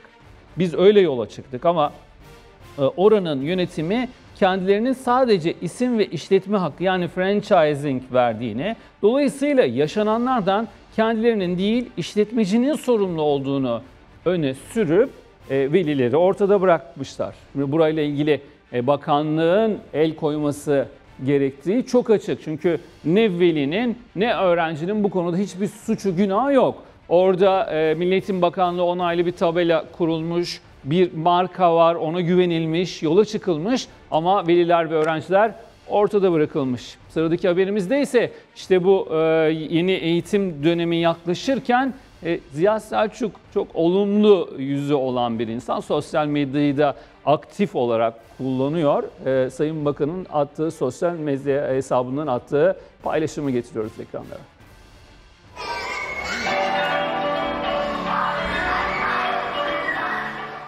Okulların açılmasına artık sayılı günler kaldı. Milli Eğitim Bakanı Ziya Selçuk da bu duruma dikkat çekmek için sosyal medya hesabından eğlenceli bir paylaşım yaptı. Söze okulu çok özledim yahut ne yani bitti mi tatil diyen çocuklara kısa bir bilgilendirme diyerek girdi. Ardından yeni eğitim öğretim takvimini açıkladı.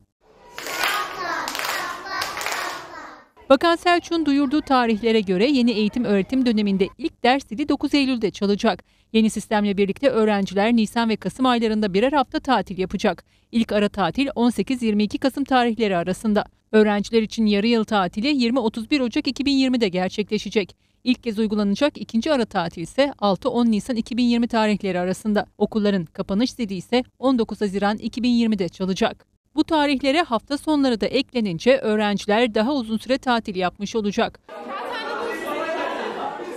Bakan Selçuk okulların açılması için geri sayım devam ederken öğrencilere tavsiyede bulunmayı da ihmal etmedi. Öğrencilerden tatilin tadını çıkarmalarını istedi. Selçuk, tatilin son günlerindesiniz çocuklar, keşfedin, oynayın, istediğinizce diyerek paylaşımını noktaladı.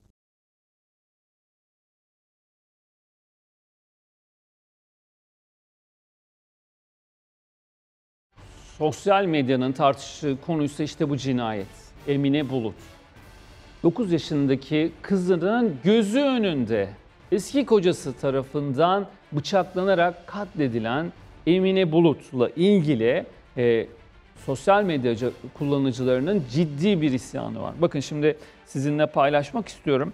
İçim acıyor diyor bir kullanıcı. Bir kadının yaşadıkları, kızının şahit olduğu o son an kaldıramıyorum diyor e, bir kullanıcı. Bir diğeri ise kanım dondu, söyleyecek söz bulamıyorum. Gerçekten bu cinayette artık hani derler ya artık konunun bittiği yer, o damlanın taştığı nokta e, insan söyleyecek söz bulmakta zorlanıyor. Ben insan olmaktan, erkek kimliğimden utandım demiş bir e, kullanıcı. Bu kadına yönelik şiddetin bu kadar artmış olması, kör cinayetlerin, kızının gözü önünde, yalvarış, yalvarışlarının gözü önünde bir kadının daha böyle bir cinayetle e, öldürülmesi. Nerede dur diyeceğiz?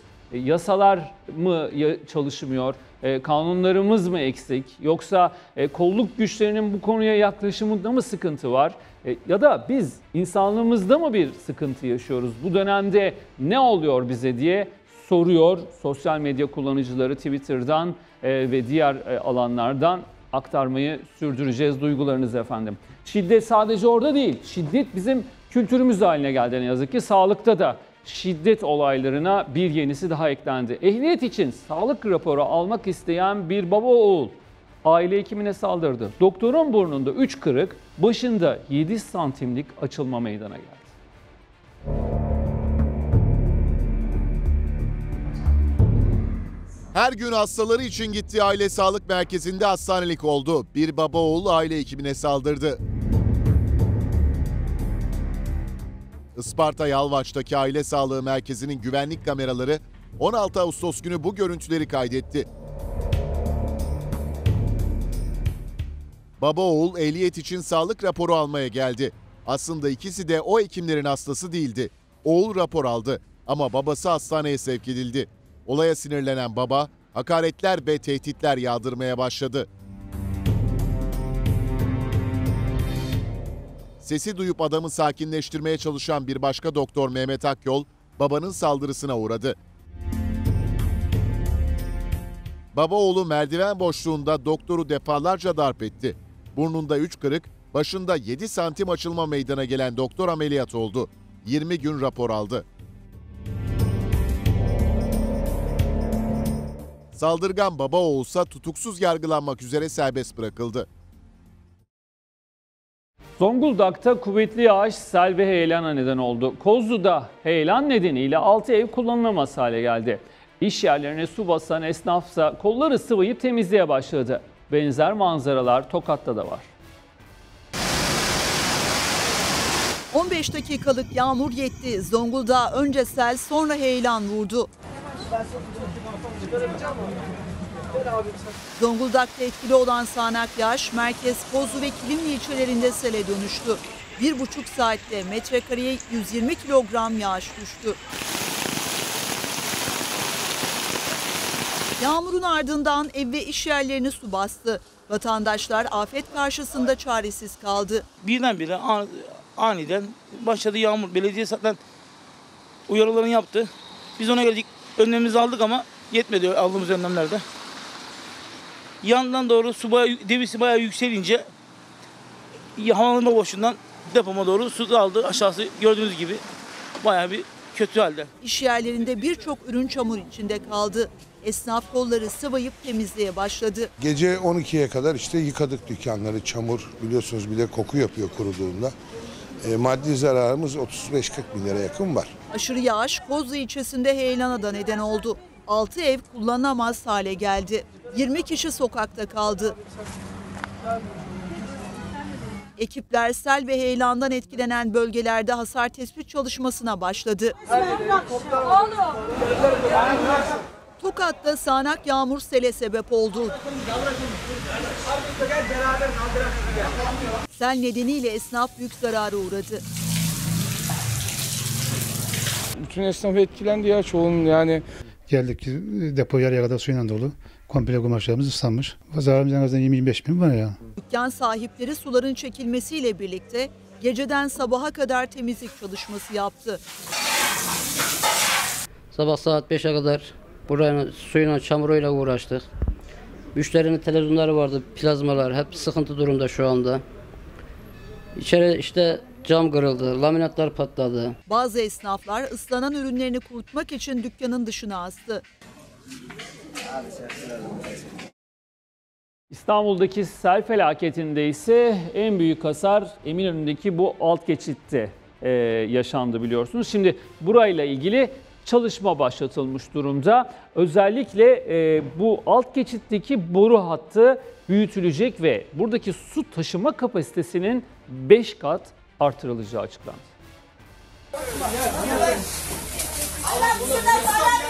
Bu görüntüler artık tarihe karışacak. Selde büyük hasar gören at geçit çarşısında yeni boru hattı döşenecek. Muhtemel sel baskınları yeni altyapıyla engellenecek. Alt geçide biriken su anında denize tahliye edilecek. İstanbul geçtiğimiz cumartesi günü başlayan sağanakla sel felaketini yaşadı. Selden etkilenen ilçelerin başında Eminönü geldi.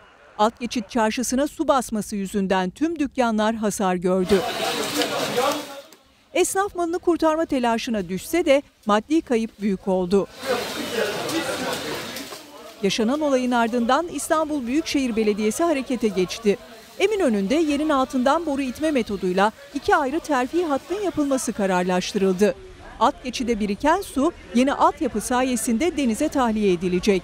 Yapılacak yeni takviyeler sayesinde alt geçidin tahliye kapasitesi 5 kat büyüyecek. Ayrıca selde dükkanları zarar gören vatandaşlara belediye tarafından 3 ay boyunca karşılıksız maddi yardım sağlanacağı açıklandı.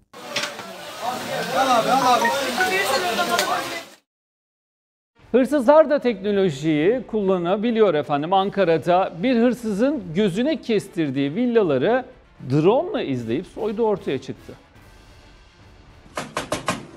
Aç kapıyı.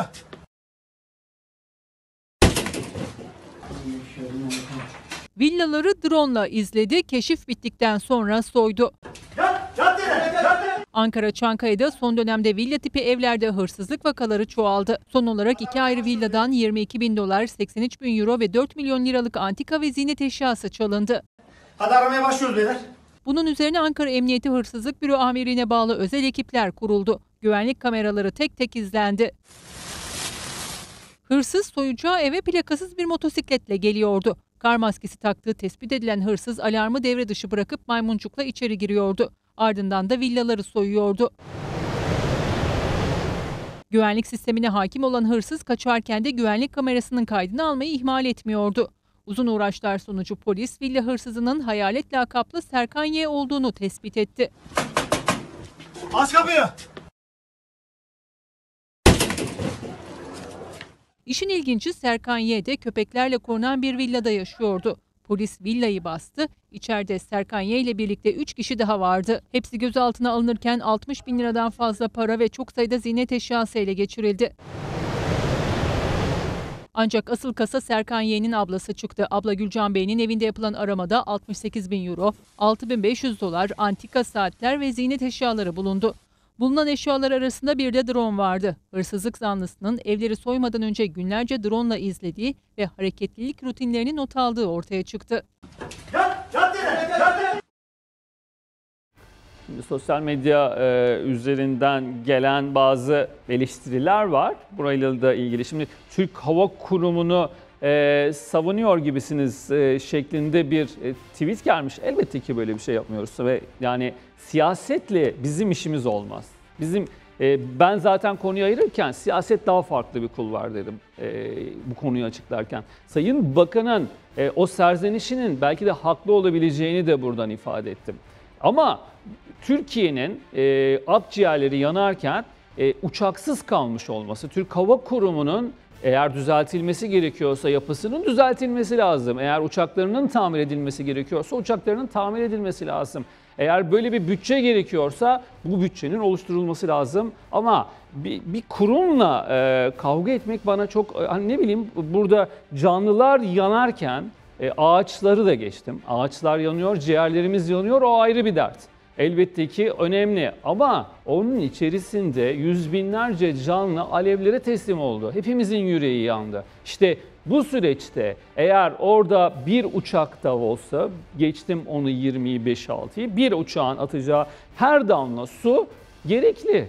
E, bilmem kaç hektar alan yandı diyoruz. Bilmem kaç top sahası büyüklüğünde alan e, yandı kül oldu diyoruz. E, içindeki canlılar o kaplumbağalar, ceylanlar, kuşlar hepimiz gördük. İşte bunun için bizim derdimiz o. Yoksa siyaset bizim gündem konumuzun tamamen dışındadır efendim. Ee, belki de dediğim gibi oradaki işleyiş içerisindeki hatalar, Türk Hava Kurumu'ndaki hatalarla ilgili olarak bakanın açıklamasının e, haklı yönlerinin de olabileceğini zaten buradan ifade etmiştim ama hata neyse düzeltilmesi lazım. Eğer Türkiye Cumhuriyeti Devleti içerisinde eğer bu uçakların sahibi bu kurumsa e, bu kurumda da düzeltilsin o zaman ki e, yangın olduğunda biz yeniden uçaklar nerede diye sorup aynı tartışmalarla devam etmeyelim. Derdimiz sadece budur. Türkiye gazetesiyle manşetlere bakacağız. İlk gazetemiz Türkiye. Aslında manşetlerden bu saatlerimizde e, seçtiğimiz haberleri aktarmak istiyorum. Çünkü e, genel e, başlıkları aktardık. Şimdi özellikle seçim konusu. Gökhan seçim de nereden çıktı demeyin. Şu anda Türkiye Gazetesi'nde Sayın Yücel Kayaoğlu'nun e, haberi var sürmanşette. E, seneye yine seçim var diyor Türkiye Gazetesi sürmanşetinde. Seçimi kazanmasına rağmen okuma yazma bilmediği, adli sicilinde problem olduğu ve 6 aylık ikamet şartını taşımadığı gerekçesiyle 3000'in üzerinde muhtarın mazbatasının iptal edilmesi gündemde. Yüksek Seçim Kurulu'na itirazlar var. 3000 muhtarın koltuğu tehlikede başlığını atmış Türkiye Gazetesi. Hemen detaylarını aktarmak istiyorum Sayın Yücel Kayaoğlu'nun haberinden. İstanbul seçiminde dengeleri değiştirme, değiştirdikleri için uzun süre konuşulan muhtarlar yine tartışmanın odağında diyor haberde. Yerel seçimlerden sonra Yüksek Seçim Kurulu'na 6000'in üzerinde itiraz başvurusu yapıldı. Bunların 3000'den fazlası ise muhtarlarla ilgili. Kurul dosyaları karara bağlamaya başladı. Bunun sonucunda mazbatası iptal edilecek çok sayıda muhtarlık için 7 Haziran 2020'de yeniden seçim yapılacak. Aynı haber Hürriyet gazetesinin de manşetinde manşet haber 3000 muhtarı inceleme diyor Hürriyet gazetesi haberinde. Yüksek Seçim Kurulu 31 Mart'ta seçilen 50.300 muhtardan 3000'ini gelen şikayetler üzerine incelemeye aldı. Şartlara uymayan muhtarların mazbataları iptal edilecek diyor. 6000 şikayet var. E, Yüksek Seçim Kurulu'na muhtarlarla ilgili 6000 şikayet gelmiş. Şikayetleri inceleyen Yüksek Seçim Kurulu 3000 muhtarın üzerinde yoğunlaşmış durumda. Bunlar ya okuma yazma bilmiyorlar ya adli sicillerinde seçilme şartlarını taşımıyorlar ya da işte bu şekilde e, orada oturmuyorlar aslında. 6 aylık oturma zorunluluğunu doldurmamış durumdalar ama gelip o muhtarlığa aday olabilmişler. Bu da bir enteresan durum. Yüksek Seçim Kurulu hani bunca belge, bunca çalışma, bu kadar insan, bu kadar emek, e, 3000 kişi bu şartlara haiz değil ama gelip seçime katılabiliyorlar. Yani inanın şaşırtıcı. Hani bu haberi aktarıyorum ama aslında şaşırarak aktarıyorum. 3000 yani rakam da az buz değil baktığınız zaman. Ee, bakalım bu seçim hemen seçimle ilgili tarih de var onu da aktarayım. Ee, hemen söyleyeceğim efendim. Ee, gelecek sene e, Haziran ayında. Haziran ayında 7 Haziran 2020'den bahsediyoruz. 7 Haziran 2020 tarihinde Türkiye'de yeniden sandık olabilir. Ee, Allah'tan daha bir sene var ama e, baktığınız zaman biliyorsunuz bu, bu sene içerisinde seçim üzerine seçim derken biraz sıkıldık seçimlerden. Ama e, bu sefer de muhtarlar için yeniden sandık başına gidebilirsiniz. Evet detayları bakmayı sürdüreceğiz. Gündemimizle devam edelim. Yunanistan Başbakanı Kyriakos Mitsotakis'ten Türkiye açıklaması geldi. Mitsotakis ülkesindeki iltica hakkına sahip olmayanların Türkiye'ye geri dönmesi gerektiğini söyledi. Yunanistan Başbakanı Kyriakos Mitsotakis, Fransız Le Figaro gazetesine konuştu. Mitsotakis gazeteye iltica talepleri konusunda Türkiye'yi de yakından ilgilendiren açıklamalar yaptı. For the first time in 15 years. Mitsotakis, iltica hakkına sahip olanlar Yunanistan'da kalabilir. Ancak bu hakkı elde edemeyenlerin Avrupa Birliği ile Türkiye arasında yapılan anlaşma gereği Türkiye'ye geri dönmesi gerekiyor dedi. Türkiye'nin önemli bir komşu olduğunu vurgulayan Mitsotakis, göç gibi sorunları çözmek için Cumhurbaşkanı Erdoğan'la çalışmak için sabırsız olduğunu söyledi. Και τιμιγορία του ήταν ξεκάθαρη.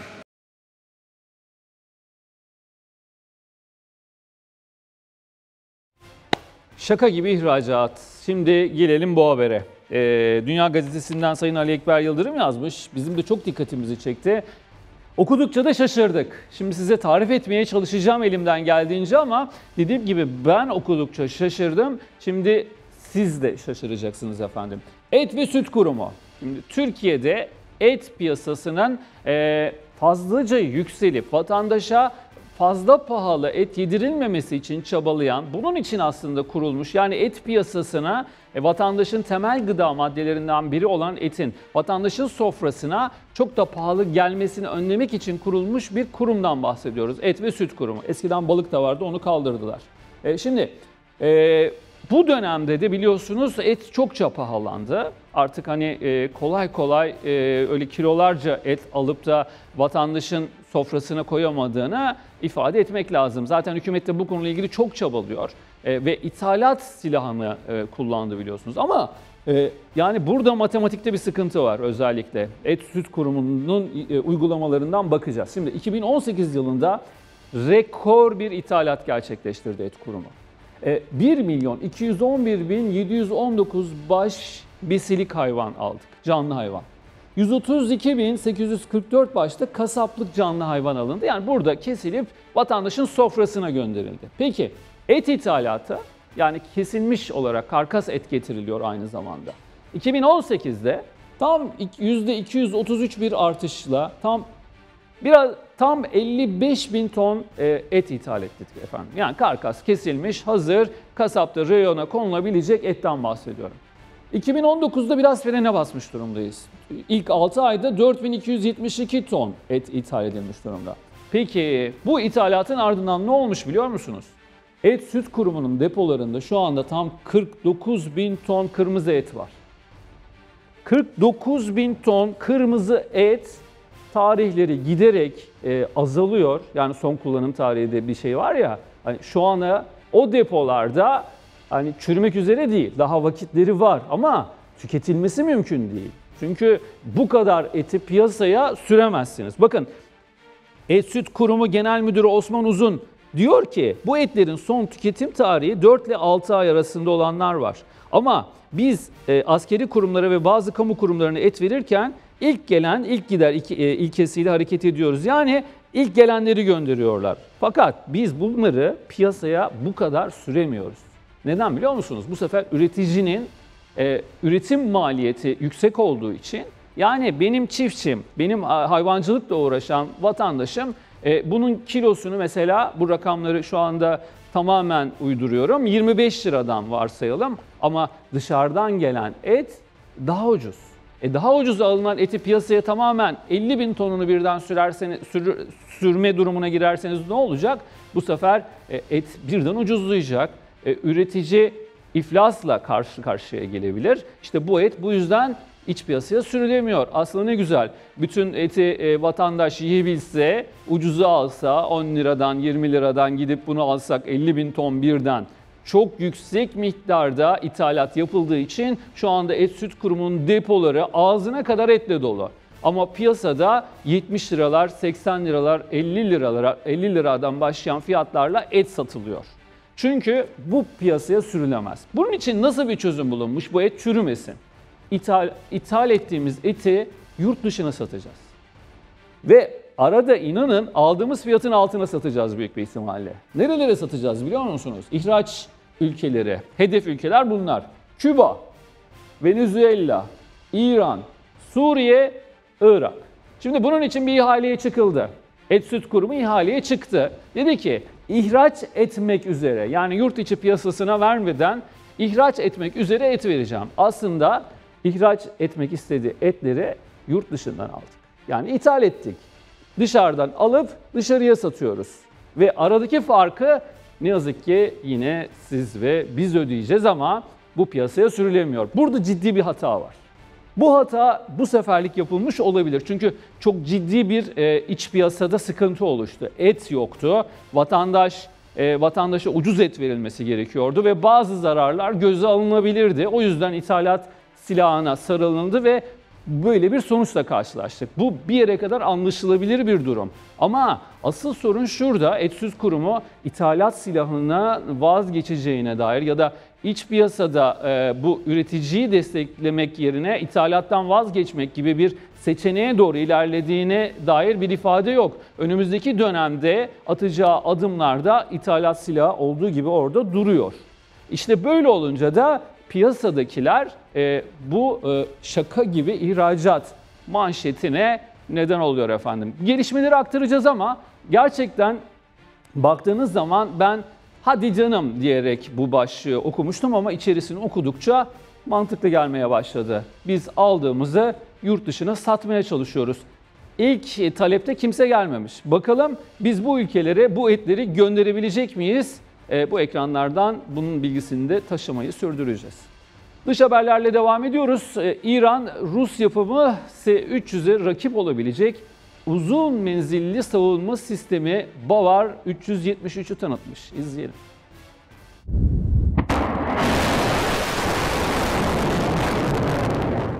İran, Rus S-300'e rakip füze savunma sistemi Bavar 373'ü böyle tanıttı. İran Cumhurbaşkanı Hasan Ruhani, Bavar 373 savunma sisteminin tanıtım töreninde konuştu. Ruhani füze savunma sistemiyle ilgili bu sistem S-300'den daha güçlü ve S-400'e yakın bir savunma sistemi dedi.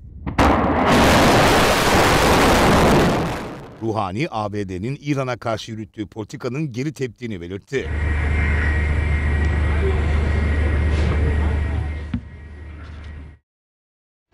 Dünyanın akciğerleri olarak bilinen Amazon ormanları ölçülebilen en yüksek yangın oranına ulaştı.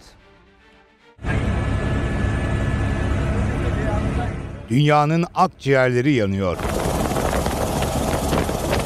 Brezilya'daki Amazon ormanları yangınları rekor seviyeye ulaştı. Brezilya'daki Ulusal Uzay Araştırmaları Kurumu incelemeler sonucunda ülkede 2019 yılı içerisinde şu ana kadar 72.843 yangın tespit edildiğini duyurdu. Bu yangınların çok büyük bir kısmının Amazon ormanlarında olduğu da ayrıca ifade edildi. İncelemelere göre ülkede sadece 15-19 Ağustos tarihleri arasında tam 9507'den fazla yangın meydana geldi. Yangınlara en büyük sebep olarak Brezilya'nın aşırı sağcı lideri Jair Bolsonaro gösterildi. que no meu entender pode ter sido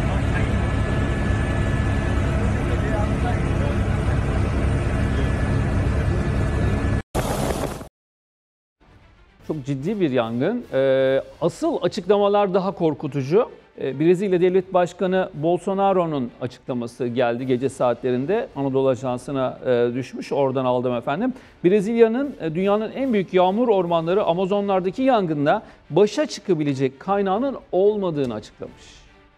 Bolsonaro e, çok tartışmalı bir süreçle Brezilya'nın devlet başkanı olmayı başaran bir isim. E, para yok diyor.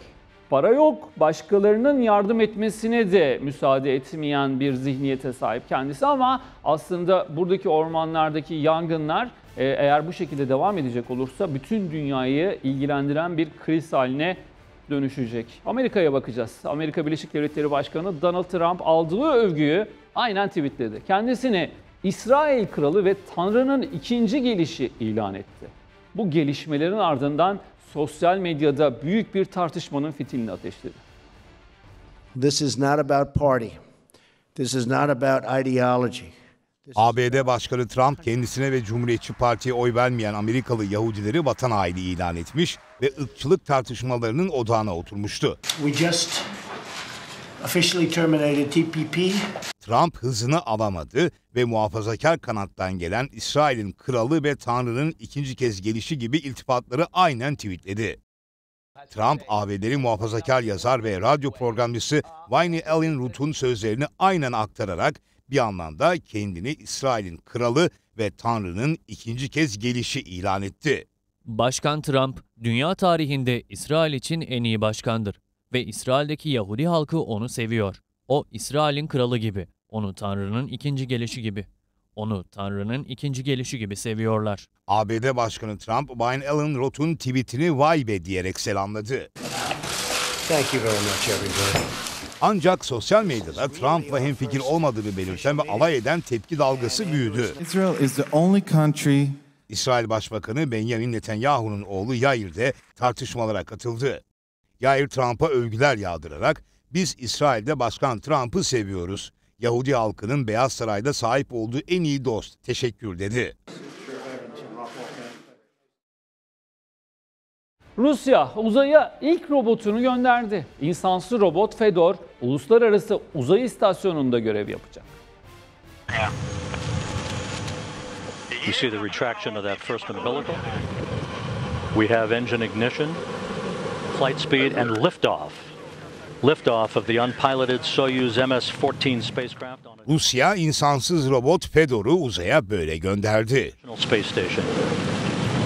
Soyuz MS-14 Kazakistan'daki Baykonur uzay üssünden fırlatıldı. We have engine ignition, flight speed, and liftoff. Liftoff of the unpiloted Soyuz MS-14 spacecraft Uzay aracında Fedor dışında bir kozmonot bulunmuyor. 14 of the humanoid robot Fyodor early Saturday morning.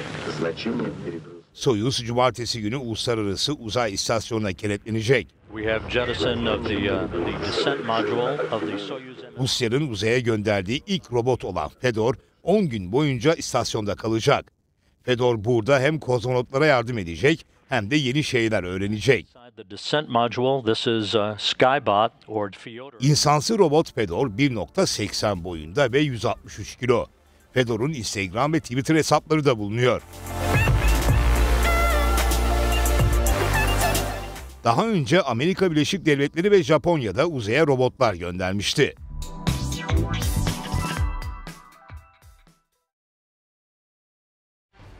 Yerel basında da bu Türk Hava Kurumu tartışması devam ediyor efendim. Gazetemiz Antalya'dan Gerçek Gazetesi e, Türk Hava Kurumu parayı çarçur etti diyor manşetinde.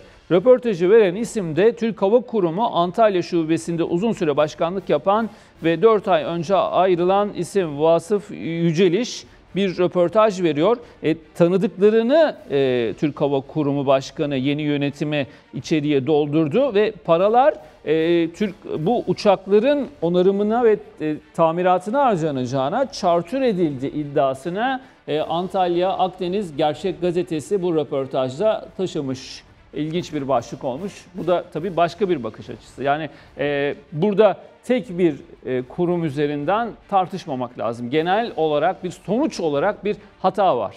Bu ülkenin yangın söndürme uçakları çalışıyor mu, çalışmıyor mu? Çalışıyorsa kaçı çalışıyor, hiç mi yok? İşte bunların kesin bir sonuca bağlanması lazım. Ya da yenilenmemesinin sebebine, Türk Hava Kurumu'nun bu konuda geride kalmasının sebebine hepsine bakmak lazım elbette. Bir çevre haberi Isparta'dan. Isparta Postası gazetesi e, der ki mermer ocakları doğayı tahrip etmeye devam ediyor. Mermer ocakları işini bitirdikten sonra ortalığı olduğu gibi bırakıp gidiyor. Oysa ocağın bulunduğu yer yerin ağaçlandırılması gerekiyor. Ocak yetkilileri bu konuda biz ağaçlandırılsın diye para veriyoruz derken e, şu anda çalışma yapılmaması vatandaşın tepkisine neden oluyormuş efendim Isparta'dan e, bu haberi de paylaşmış olalım. Ve İzmir o tartışılan yangının olduğu nokta İzmir e, 9 Eylül gazetesi e, manşetinde küllerinden doğacak diyor. E, Bölgede büyük bir zarar var. İzmir Büyükşehir Belediye Başkanı Tunç Soyer'in yangının ardından geniş çaplı ağaçlandırma kampanyasına girişileceği açıklaması yer alıyor. E, Bakanın, e, Tarım ve Orman Bakanı Sayın Bekir Pakdemirli'nin de açıklaması var. Yanan alanları hızla rehabilite edeceklerini vurguladı. Pakdemirli Kasım ayında Guinness Rekorlar kitabına girme projemiz var. Aynı anda 3 milyon fidan dikerek Guinness Rekorlar kitabına gireceğiz. 11 Kasım'da saat 11'de bütün illerde fidan dikimi olacak. Ee, bu projeyi de desteklememek mümkün değil elbette. Son gazetemiz Zonguldak'tan Halkın Sesi gazetesi bile bile lades diyor. Görüntülerini de paylaştık. Zonguldak'ta ciddi bir yağış oldu ve esnaf e, çok zorlanmış durumda. Meteorolojinin iki gün öncesinden turuncu alarm verdiği Zonguldak'ta dün akşam saatlerinde aniden bastıran şiddetli yağmur yüksek kesimlerden şehir merkezine sel olup geldi. Yüzlerce iş yeri ve evi su bastı diyor. Meteoroloji uyardı ama yeterli önlem alınamadığı için bile bile lades diyor Zonguldak Halkın gazetesi e, Halkın Sesi gazetesi. Evet yerel basında manşetler bu şekildeydi. Yangın tartışmaları ve işte yerel basında e, çevre ve işte sel felaketi tartışılmaya devam ediliyor. Biz e, yerel basını da dinlemeye devam edeceğiz efendim.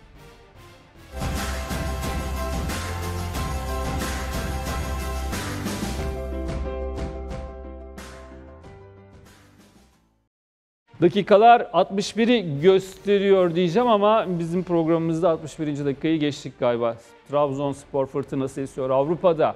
İkinci rakibini de destansı bir galibiyetle deplasmanda 3-1 e, Türkiye Gazetesi Spor Servisi der ki e, destan adam Ekuban dün hat-trick yaptı. 3 gol birden atmayı başardı. Trabzonspor deplasmanda AEK'yı farklı mağlup etti ve e, dünkü karşılaşmanın ardından neredeyse artık gruplara kalmayı garantiledi diyor. Ekuban 3 maçta 4 gol birden atmış ve muhteşem geri dönüş başlığını hak etmiş Türkiye Gazetesi Spor sayfasından bu başlığı okuyorum ve sırada o muhteşem galibiyetle ilgili haberimiz var.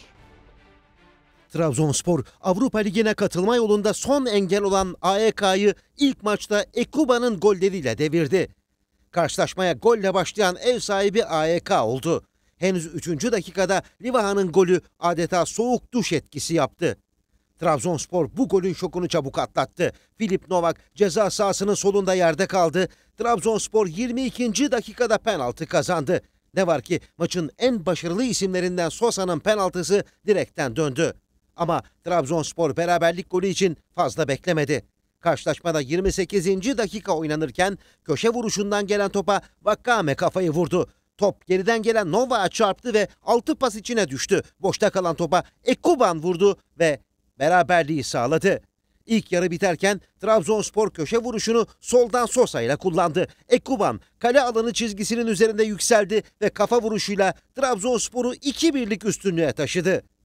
Trabzonspor oyun üstünlüğünü ikinci yarıda da sürdürdü. Karşılaşmada 71. dakika oynanırken yine sol taraftan bu kez Vakame topu getirdi. Abdülkadir Ömür ceza sahasının merkezine koşu yapan Ekuban'a harika bir pas attı. Ekuban hat-trick yaptı. Trabzonspor 3-1 öne geçti ve önümüzdeki perşembe günü Trabzon'da oynanacak maç öncesi büyük avantaj yakaladı. Trabzonspor Yunan rakibi AEK'yı elerse Avrupa Ligi gruplarına kalacak. Türk Silahlı Kuvvetleri'nin gösteri ekibi Solo Türk Trabzon Trabzon'un of semalarında şov yaptı. Sahile akın edenler gözlerini gökyüzünden ayıramadı.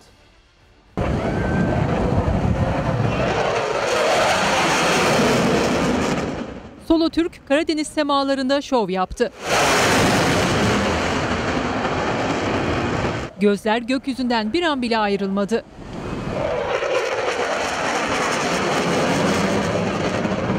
Türk Silahlı Kuvvetleri'nin gösteri ekibi Solo Türk bu kez Trabzon'un Of ilçesinde gösteri uçuşu düzenledi. Yüzlerce kişi gösteriyi izlemek için sahile akın etti. Gözler gökyüzüne çevrildi.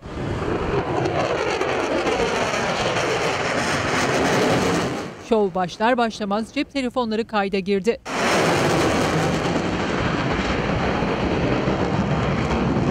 Solo Türk yaptığı gösteriyle yine nefesleri kesti.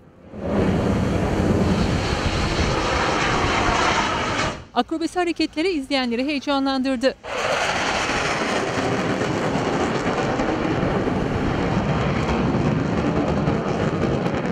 Vatandaşlar izledikleri gösteriye hayran kaldı. Çok güzeldi. Yani gurur vericiydi. Bu heyecan verici, çok güzel. Ee, insanların, insanların tüyleri diken diken oluyor. Milli duygularımız kabarıyor yani.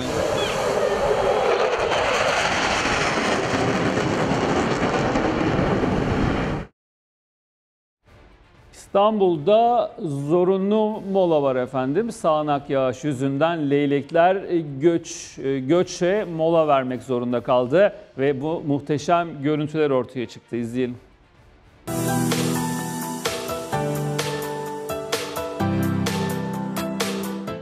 bir yolculuk için aynı yöne kanat çırptılar ama yağmur engeline takıldılar. Onlarca leylek çatılara konup yağmurun dinmesini bekledi. İstanbul'da yaz yavaş yavaş yerini sonbahara bırakırken leylekler için yol göründü. Binlerce leylek sıcak bölgelere doğru göç etmeye başladı.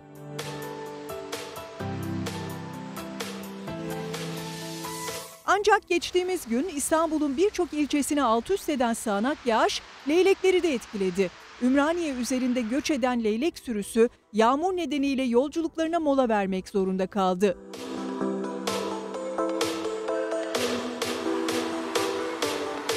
Leylekler binaların çatısında yağmurun dinmesini bekledi.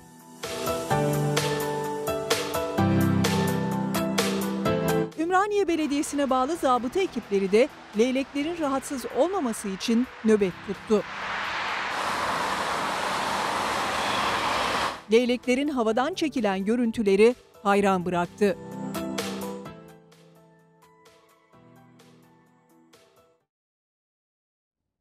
Türkiye Emine Bulut cinayetini konuşuyor. Anne lütfen ölme başlığı atılmış. Çünkü 10 yaşında kızının gözü önünde eski kocası tarafından katledilen Emine Bulut'tan bahsediyoruz. E, sosyal medyadaki mesajlarınızı okumaya çalışıyorum elimden geldiğince. E, Allah katında bunun hesabını nasıl vereceksiniz? O çocuğun çektiği acıyı nasıl dindireceksiniz diye soruyor Yağmur. E, bu ülkede erkek olmaktan utanıyorum demiş Ömer. E, bununla ilgili paylaşımlar var. E, ve adalet çağrısı var. İşte güne Emine Bulut haberiyle başlamanın tatsızlığı dahası o kadının yaşadıkları, o yavrusu, o kan dondurucu video kaydı Allah'ım sen aklımı koru demiş e, bir paylaşımcı, bir sosyal medya kullanıcısı. Evet gerçekten e, bu dönemde kadına yönelik bu şiddet haberlerini vermekten artık gerçekten biz de yorulduk. Ama e, burada verilmeyince konu kapanmıyor. Yani biz duymayınca o cinayetler, bu şiddet sona ermiyor. Duyacağız, göreceğiz. E, bu şiddetin içeriğini çözüp çözümlemesini yapacağız. Kanunsa kanun, önlemse önlem bunu yapacağız. Bu çağrıyı yükselteceğiz. Sizin mesajlarınızı da okumaya devam edeceğiz. Şimdi kısa bir aramız var.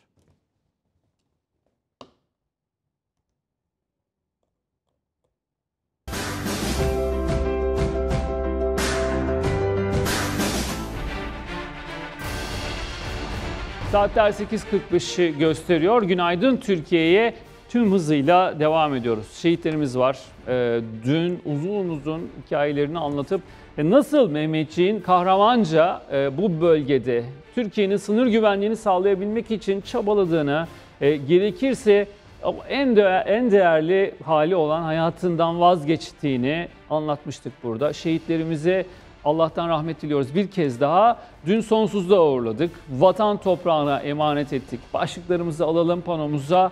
E, gündemimizi kaldığımız yerden tarif etmeye devam edelim efendim. Üç şehidimiz vardı. Uzman çavuşlarımız e, Ayhan Yanık, Mehmet Uçar ve Ferdi Güntekin. Evet e, dün cenaze namazlarıyla e, sonsuzluğa uğurladık 3 vatan evladını.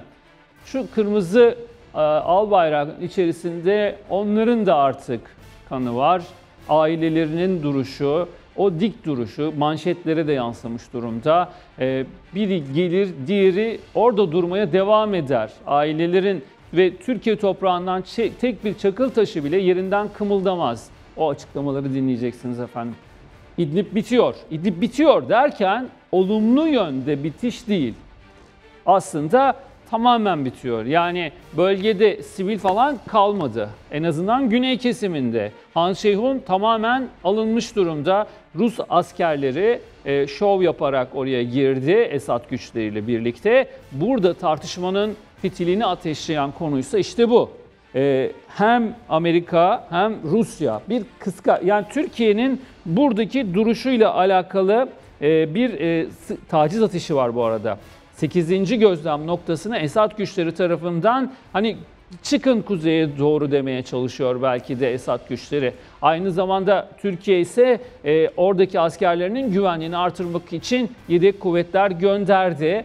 E, gidişat hangi istikamette olacak? Önümüzdeki günlerde göreceğiz ama İdlib bitiyor. Yani o Birleşmiş Milletler'in de uyardığı, o her uyarıda da bizim de aktardığımız o 3 milyon, 3,5 milyon sivilin artık hareketlenmeye başladığı gözle görülür halde. Fotoğraf kareleri, videolar var. Herkes güne, e, kuzeye doğru, Türkiye sınırına doğru yönlendi ama Türkiye'nin bu kez e, kendi topraklarına bu kadar büyük bir gücü e, kabul etmek yerine bölgede onların güvenliğini sağlamak için önlemler alacağını açıkladı biliyorsunuz. Bakanın hedefinde Türk Hava Kurumu var dedik. İzmir tartışması ki öncesinde de aslında bu uçaklar nerede diye defalarca gündeme gelmişti. Türk Hava Kurumu'nun açıklamaları var. Belki de e, siyasi tartışmaların arasında Türk Hava Kurumu'nun bu açıklamaları yapıyor olması siyaset gündemine girmesine neden oldu. E, Sayın Bakan'ın da açıklamaları bu yönde. Hani siyasetle anılması hoş değil. Ama tabii ki burada uçak tartışması önemli canlıların yanarak öldüğü ormanlık alanlar içerisinde akciğerlerimizi kaybettik. Ama bizim uçağımız var mı yok mu? Hani yoksa bile Türk Hava Kurumu bu ülkenin kurumu diye düşünüyorum. Yani e, doğal üyeleri arasında baktım. Cumhurbaşkanı var, işte komutanlar var vesaire. Yani aslında köklü bir kurum. Eğer eksiği varsa, e, gediği varsa düzeltilmesi gerekir diye düşünenlerdenim. E, ama tabii ki Türk Hava Kurumu'nun da burada e, duruşu itibariyle siyasetle tartışmaması lazım. Ama e, eksiklikleri mutlaka giderilmesi şart. Akciğerler yanarken eğer orada çalışan tek bir uçak bile var da suyunu atmıyorsa o da problem gibi görünüyor. Toplumsal iyilik hali başlığını attık bu manşetimize. E, eski bir gelenek, e, bu dönemde artan, kabaran biraz e, alışveriş e, defterleri var biliyorsunuz, borç defterleri. Bakkallarda Şimdi e, herkesin evinin önünde bir e, zincir marketten bir tane var. Hepimiz gidip oradan kredi kartıyla alışveriş yapıyoruz ama bakkallarda borç defterleri devam ediyor ve kabardı son dönemde. Oradaki miktarlar arttı yani. İşte bir iyiliksever e, toplumsal iyilik haline katkı sundu ve o defteri satın aldı. Herkesin borcunu sildi. Allah razı olsun diyoruz kendisinden. Manşetlere bakacağız. Ankara'ya gideceğiz. Ankara'yı dinleyeceğiz efendim. Ee, özellikle e, bu Suriye'deki gelişmeler e, Ankara'nın ana gündem maddesi olacak gibi görünüyor önümüzdeki günlerde. Bütün detaylarıyla anlatacağız. Bir de seçim tartışması çıktı. Türkiye Gazetesi'nin sür manşetini Sayın Yücel Kayaoğlu'nun haberi 3000 muhtarın mazbatası iptal. Gelecek sene 7 Haziran'da Türkiye'ye yeniden seçim sandığı gelebilir. Hepsini aktarmak için Günaydın Türkiye'ye devam.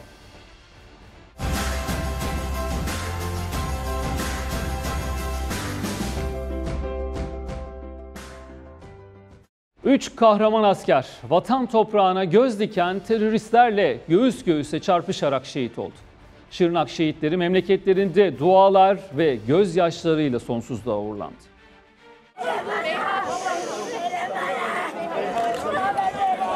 Sen dağların aslanıydın yavrum. Çakallara niye boğuldun yavrum? Sen dağların aslanıydın oğlum. Gurur duyacağım, şeydim.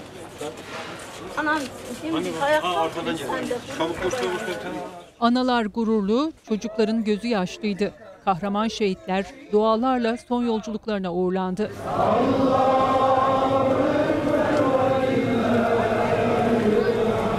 Şırnak'ta bir grup PKK'lı teröristin saldırısı sonucu 3 kahraman asker vatan uğruna şehadet şerbetini içti. Uzman çavuş Ayhan Yanık 26 yaşındaydı. Henüz 2 ay önce evlenmişti. İki abi gibi o da 3 yıl önce kutsal üniformaya giydi. Eşi yolunu gözlerken acı haberi geldi. Beyhan Yanık şehidini asker üniformasıyla karşıladı. Cenaze töreninde gözyaşları sel oldu aktı. Beyhan Yanık eşine son kez dokunmak istedi.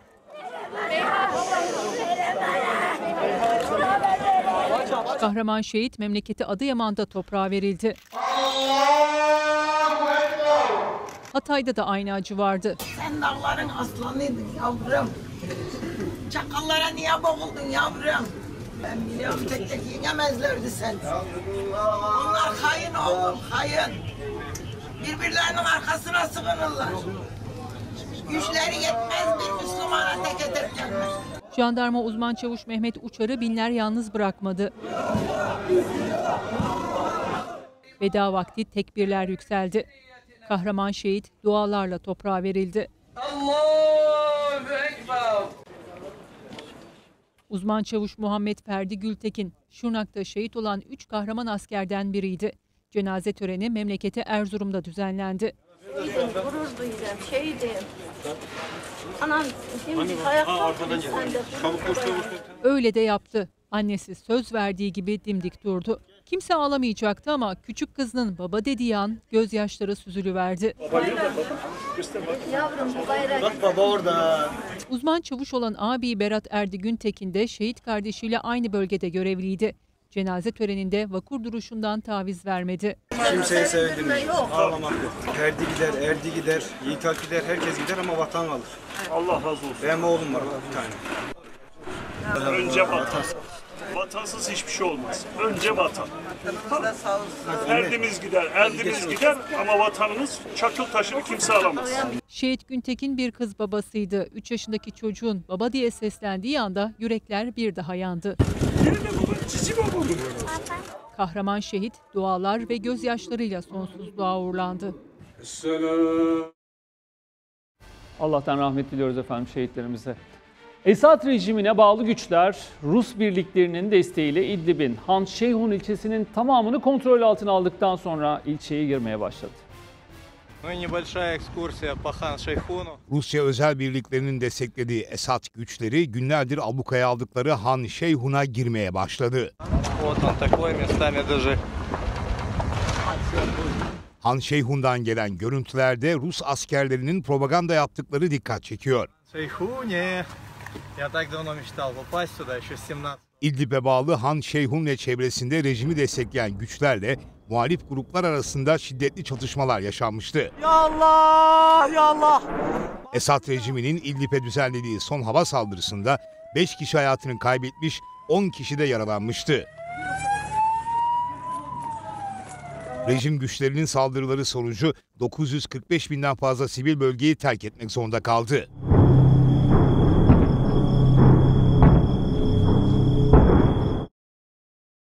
Rusya Dışişleri Bakanlığı Sözcüsü Maria Zaharova, İdlib'e ilişkin Türk tarafıyla yaptıkları mutabakata bağlı kalınmasının önemli olduğuna inandıklarını belirtti.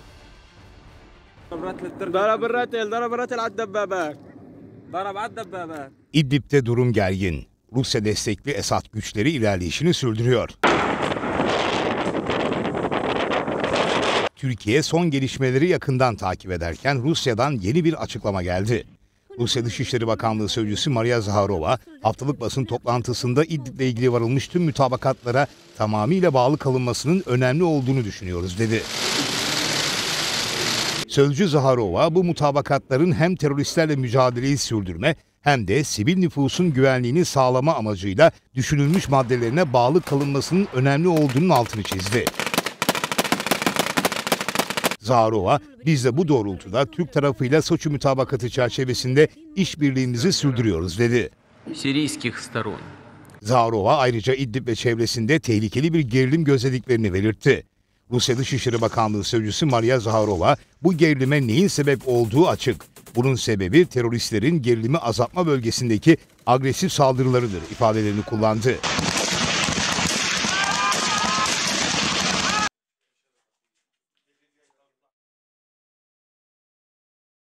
Ve manşetlerde bu konuyla ilgili değerlendirmeler var. Türkiye Gazetesi'nden bu haberi aktaralım. Amerika Birleşik Devletleri ile yakınlaşma, Rusya ile gerilim diyor Türkiye Gazetesi.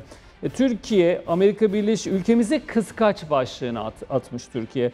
Türkiye ile Amerika Birleşik Devletleri ile güvenli bölgeyi kuruyor. Esad ve Rusya ise silahtan arındırılan bölgeyi vuruyor. E, Suriye'nin kuzeyinde Türkiye ve Amerika Birleşik Devletleri öncülüğünde barış koridorunun adımı atılırken Esad ise Rusya'nın desteğiyle gerginliği azaltma bölgesi ilan edilen İdlib'i vurmaya başladı. 3 gün önce Türk konvoyunun hedef alan rejim bugün de 8. gözlem noktasını taciz etti diyor. Hürriyet gazetesinde de Esad'dan ağır makineli taciz başlığını almış. Bu haber Türk Silahlı Kuvvetleri anında takviye yaptı bölgeye ama e, işlerin karıştığı, dengelerin yeniden yerinden oynadığına dair net görüntüler, manzaralar var. İşte Esad'ın rahatlıkla Türk Silahlı Kuvvetleri'nin gözlem nok anlaşılan noktaya e, ateş ediyor olması, taciz atışının yapması da aslında hala masada Astana ve Soçi süreci var mı sorularının da sorulmasına neden oluyor. Sıradaki açıklamanın sahibi İçişleri Bakanı Süleyman Soylu ve e, konuysa kayyum. E, HDP'li 3 belediyeye kayyum atanması ile ilgili konuştu Sayın Soylu. Suçu işleyip seçimle aklanamazsınız dedi. Bakan Soylu terörle mücadelenin bilançosunu da açıkladı. Seçilmişlik elbette ki değerlidir. Ancak demokrasi bir truva atı değildir. Soylu kayyum atamaları ile ilgili gelen eleştirilere bu sözlerle cevap verdi. Eğer dağda silahlı mücadeleyi evlatlarımız veriyorsa, eğer sınır ötesinde bu ülkeye saldıranlara karşı can pahasına büyük bir mücadele yapıyor isek elbette bunu yapmak zorundaydık. Çünkü o, o teröriste moral de mama da o belediyelerden gidiyor. İçişleri Bakanı Süleyman Soylu, Kaçakçılık ve Koordinasyon Kurulu toplantısında konuştu. Gündeminde kayyum atanan Diyarbakır, Mardin ve Van Büyükşehir Belediyelerinin başkanları vardı. Üç günden beri bu adamlar veya bu kadın terör örgütüyle iltisakı, irtibatı, terör örgütü üye olması sebebiyle alınmıştır dendiği halde bizim böyle bir şey söz konusu değildir kimse demedi. Seçilmişlikten başka bir şey söylemiyorlar. Seçilmişlik elbette ki değerlidir. Ancak demokrasi bir truva atı değildir. Seçimler de bir hukuk mahkemesi değildir. Suçu işleyip seçime girerek yasalar karşısında aklanamazsınız. Soylu daha sonra sözü PKK ile mücadeleye getirdi. Yılbaşından bu yana yapılan terörle mücadeleyi rakamlarla açıkladı. Sadece yılbaşından beri 80.570 operasyon yapmışız. 635 PKK'lı teröristi etkisiz hale getirmişiz. Soylu, Avrupa'nın Türkiye'ye uyuşturucu sokarak PKK'nın para ağını desteklediğini de söyledi. Bu konuda etkin mücadelenin sürdüğünü belirten Bakan Soylu'nun bir başka değindiği konuysa sanal bahisti. Sanal bahisin Türkiye bütçesini söyleyeceğim. 50 milyar dolar. Ocakların çökmesi demektir.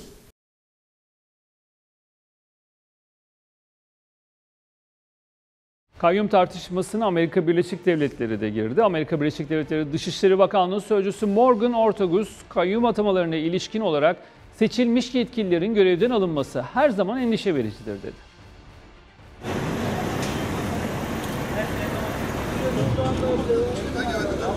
Amerika Birleşik Devletleri'nden Diyarbakır, Van ve Mardin Büyükşehir Belediyelerine kayyum atanmasına ilişkin açıklamalar geldi. So I think that um, we again ABD Dışişleri Bakanlığı Sözcüsü Morgan Ortagus, 3 belediyeye kayyum atanmasına ilişkin soruya seçilmiş yetkililerin görevden alınması ve yerine seçilmemişlerin getirilmesi her zaman endişe vericidir cevabını verdi. uh, are, are worried about his future as they should be. Türkiye'nin demokrasiye bağlılık çerçevesinde bu meseleyi çözmesini umut ediyoruz diyen Ortagus, Türkiye'nin Kürt azınlıkla olan ilişkilerinde her zaman hoşgörülü bir yaklaşımı teşvik ediyoruz ifadelerini kullandı. Um. Ortagus'un açıklamaları hem Türkiye'ye hem de Suriye'de terör örgütü PKK ve uzantısı YPG'ye destek veren Beyaz Saray'ın dengeyi tutturmaya çalıştığı yorumlarına neden oldu. To any foreign terrorist organization, any FTO, is a crime under U.S. law. FETÖ ile mücadele de devam ediyor. İzmir'de Fethullahçı terör örgütünün hücre evlerine yönelik düzenlenen operasyonda 14 şüpheli gözaltına alındı. İzmir Cumhuriyet Başsavcılığı'nın FETÖ terör örgütüne yönelik başlattığı soruşturma devam ediyor. İl Emniyet Müdürlüğü Terörle Mücadele Şubesi ekipleri kentte 19 adrese eş zamanlı operasyon gerçekleştirdi.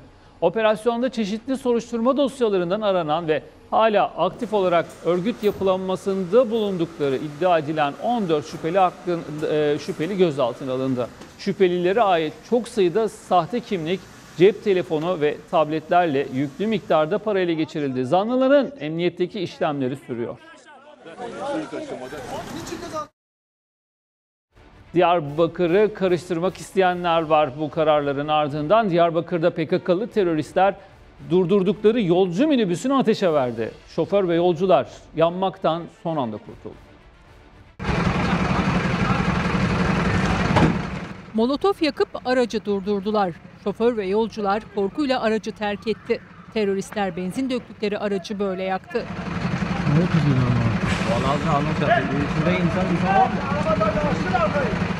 Görüntüler Diyarbakır'ın Kayapınar ilçesinden. Akşam saatlerinde terör örgütü PKK'lı bir terörist yol ortasında Molotov kokteyli yaktı. O sırada yoldan geçen yolcu dolu minibüsü durdurdu. Ardından iki terörist daha geldi. Teröristlerden biri şoför mahallinin kapısını açarak sürücüyü indirdi. Yolcular panikle aracı terk etti. Saldırganlardan biri de elindeki Molotov kokteylini araca attı.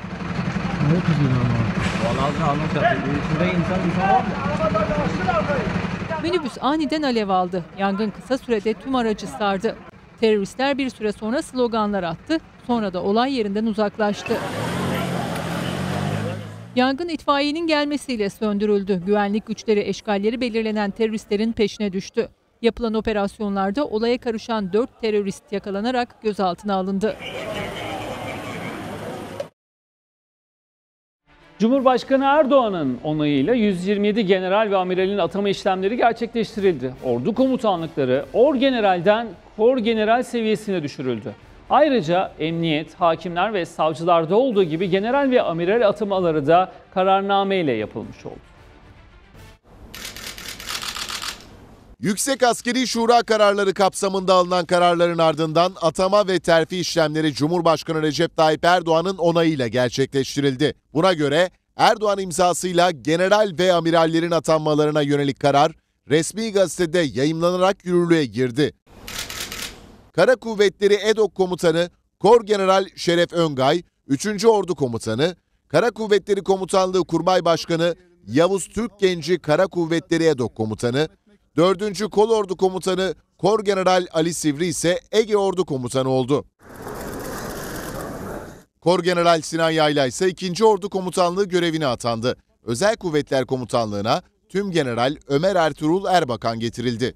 Ve halaylarla uğurladığınız evlat Yüksek Askeri Şura kararlarıyla 3. Ordu ve Ege Ordu komutanları emekliye ayrılmıştı. 2. Ordu komutanlığına ise Orgeneral İsmail Metin Temel'in Genelkurmay Denetleme ve Değerlendirme Başkanlığı'na atanmasından bu yana 7. Kolordu Komutanı Sinan Yayla refakat ediyordu. Cumhurbaşkanı Erdoğan'ın atama kararı ile birlikte Türk Silahlı Kuvvetleri'nde yeni bir dönem başladı. Ordu komutanlıklarına Orgeneral yerine Korgeneral atanması gerçekleştirildi. Böylece ordu komutanlıkları Korgeneral seviyesine düşürülmüş oldu. Ayrıca Emniyet Teşkilatı'yla hakimler ve savcılarda olduğu gibi general ve amiral atamaları da kararname ile gerçekleştirilmiş oldu.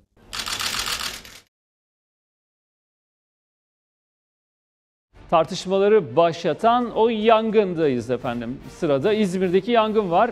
İzmir'de başlayan yangında Türk Hava Kurumu'na ait yangın söndürme uçaklarının kullanılmaması tartışmaları da beraberinde getirdi. Tarım ve Orman Bakanı Bekir Pakdemirli, Türk Hava Kurumu'nun uçaklarının işe yaramadığını savunarak kullanmak zorunda değiliz dedi ve Pakdemirli Türk Hava Kurumu'nu siyasete malzeme vermekle de suçladı. Ben daha önce de söyledim. Yani kim uçmak istiyorsa uçsun bunlarla. Tarım ve Orman Bakanı Bekir Pakdemirli, Türk Hava Kurumu'na ait yangın söndürme uçakları ile ilgili çağrısını tekrarladı. İzmir'in Karabağlar ilçesinde başlayıp Seferihisar ve Menderes'e sıçrayan orman yangınında Türk Hava Kurumu'na bağlı uçakların kullanılmaması tartışmaya neden oldu. Bakan Pakdemirli tartışmalara tepki gösterdi. Türk Hava Kurumu'nun yangın söndürme uçaklarının işe yaramadığını savundu. El altından 20 tane uçağımız var diyorlar. Hani neredeymiş o 20 tane uçak? 6 tane apronda uçak gözüküyor. 3 tanesinin motor yok motor. Hani Vizontele'de bir tane şey var diye açıyorlar kaputu motor yok diyor. İşimize yaramayan bir filo var. E, Türk Hava Kurumu'nun uçuşa elverişlik sertifikalarının hiçbirine tam tamına 30 yıllık bir pilot olarak güvenmiyorum. Pakdemirli Türk Hava Kurumu'nun uçaklarının güvensiz olduğunu söyledi. Personelin uçaklara binmek istemediğine vurgu yaptı. Bir kez daha kullanmak isteyen varsa bu uçaklara binsin çağrısında bulundu. Ben daha önce de söyledim. Yani kim uçmak istiyorsa uçsun bunlarla. Benim teşkilatım bunlarla uçmak istemiyor. Nokta. Bineceksin dendiği zaman da diyorlar ki beni memuriyetten atın ama ben gene de bu uçağa binmem.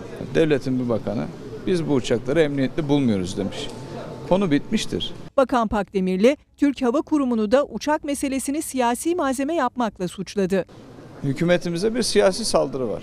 Türk Hava Kurumu siyasetin oyuncağı olmuş durumdadır. Ana muhalefet partisiyle birlikte hareket ediyor.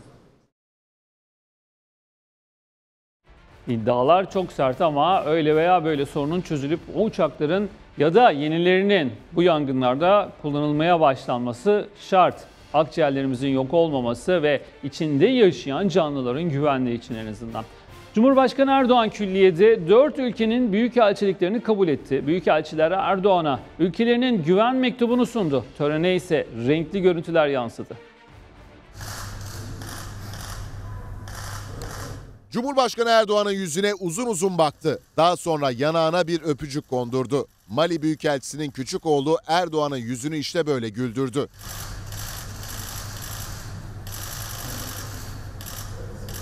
Endonezya, Filipinler, Irak ve Mali. Dört ülkenin yeni Ankara Büyükelçileri Beştepe'deydi. Cumhurbaşkanı Erdoğan'a güven mektubu sundular. Erdoğan'ın Mali Büyükelçisi Ali İbrahim'i kabulünde kameralara renkli görüntüler yansıdı. Erdoğan Büyükelçinin 4 yaşındaki küçük çocuğu Amadu'yu kucağına aldı, yanağından öptü. Küçük çocuk Erdoğan'ın sevgisini karşılıksız bırakmadı. O da Erdoğan'ı yanağından öptü. Erdoğan'ın kabul trafiği diğer büyükelçilerle devam etti. Cumhurbaşkanı Erdoğan, Endonezya Büyükelçisi Lalu Muhammed İkbal'i kabul etti. Büyükelçinin eşi ve çocuklarıyla tokalaştı. Cumhurbaşkanı Erdoğan daha sonra Filipinler Büyükelçisi Rol Salavira Hernandez'i kabul etti. Büyükelçi eşi ve beraberindeki büyükelçilik mensuplarını Erdoğan'a tanıttı. Daha sonra Irak Büyükelçisi Hasan Al-Janabi Erdoğan'a güven mektubu sundu. Erdoğan'la büyükelçiler hatıra fotoğrafı çektirdi.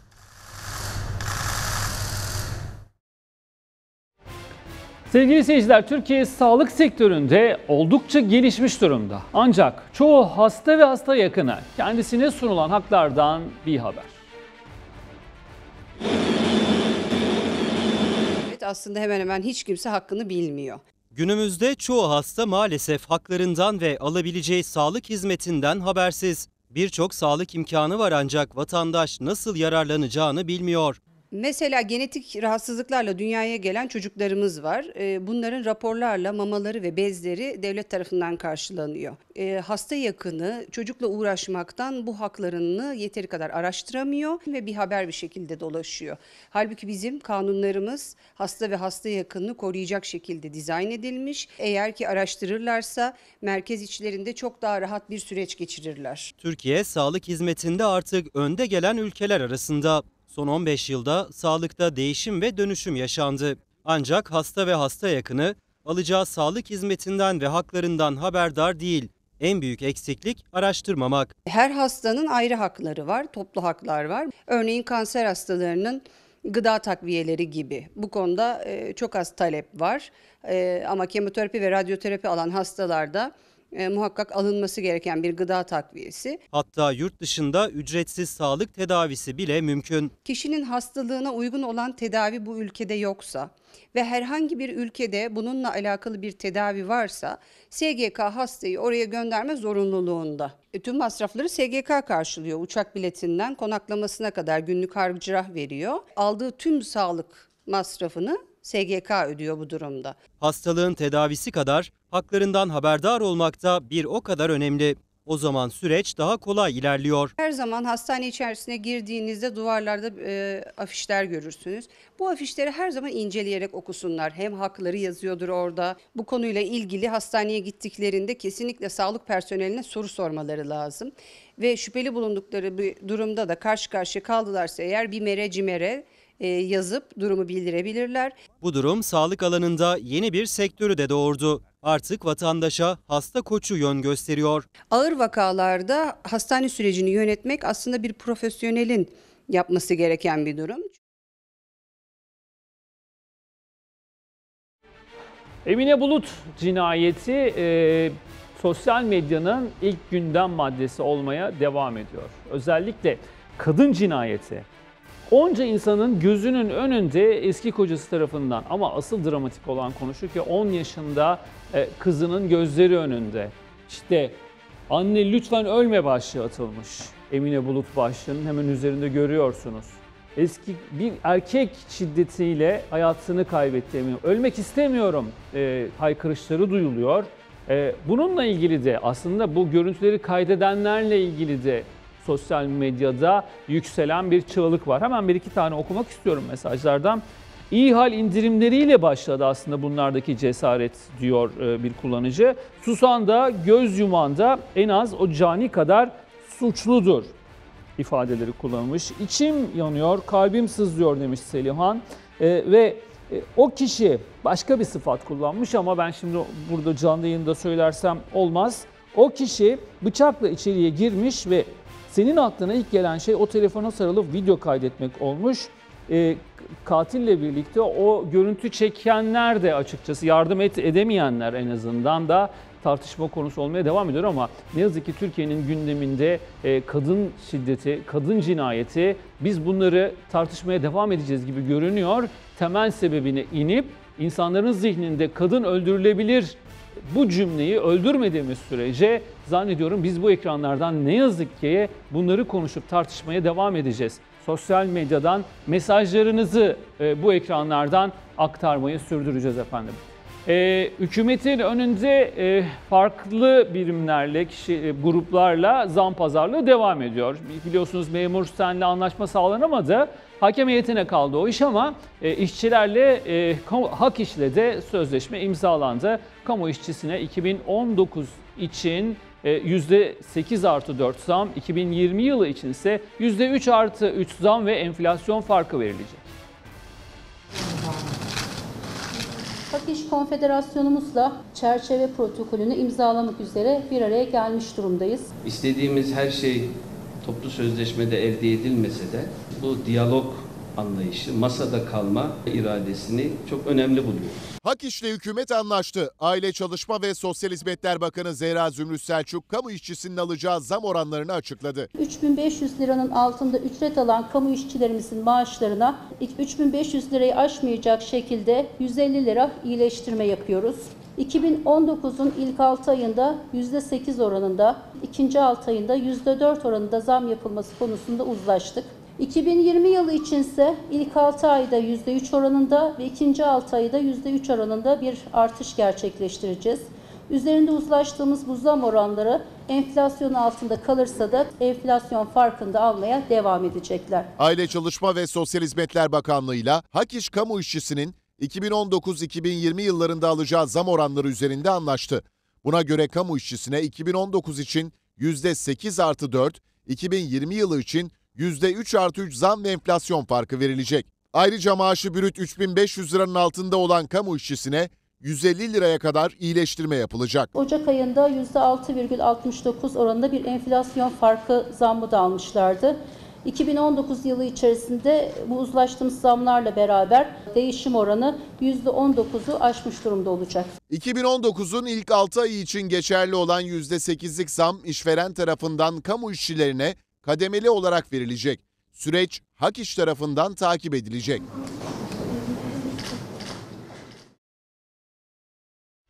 Yangın, her yerden yangın haberleri gelmeye devam ediyor efendim. E, Balıkesir, Edremit'te sazlık alanda yangın çıktı. Kısa sürede büyüdü, sahile kadar ulaştı. Onlarca hayvan alev çemberinin tam ortasında kaldı. Telefon. Sazlıkta başladı, yayıldıkça yayıldı. Yangın yola, sahile kadar geldi. Onlarca hayvan telef oldu. Yerleşim yerleri ise tehdit altında.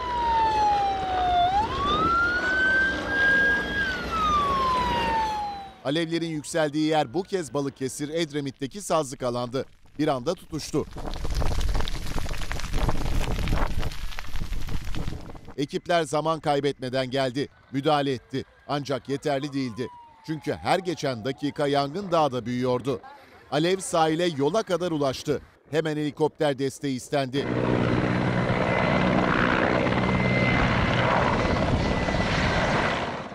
Yangın söndürme helikopterleri peş peşe hemen havalandı. Denizden su dolduruldu. Alevlere döküldü.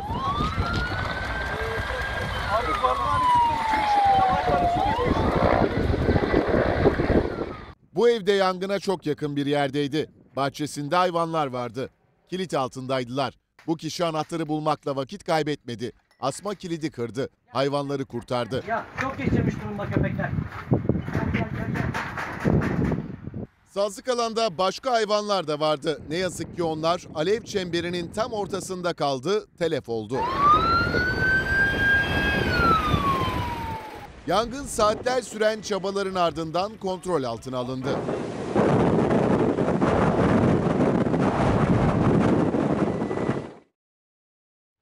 Meteorolojiden uyarı var.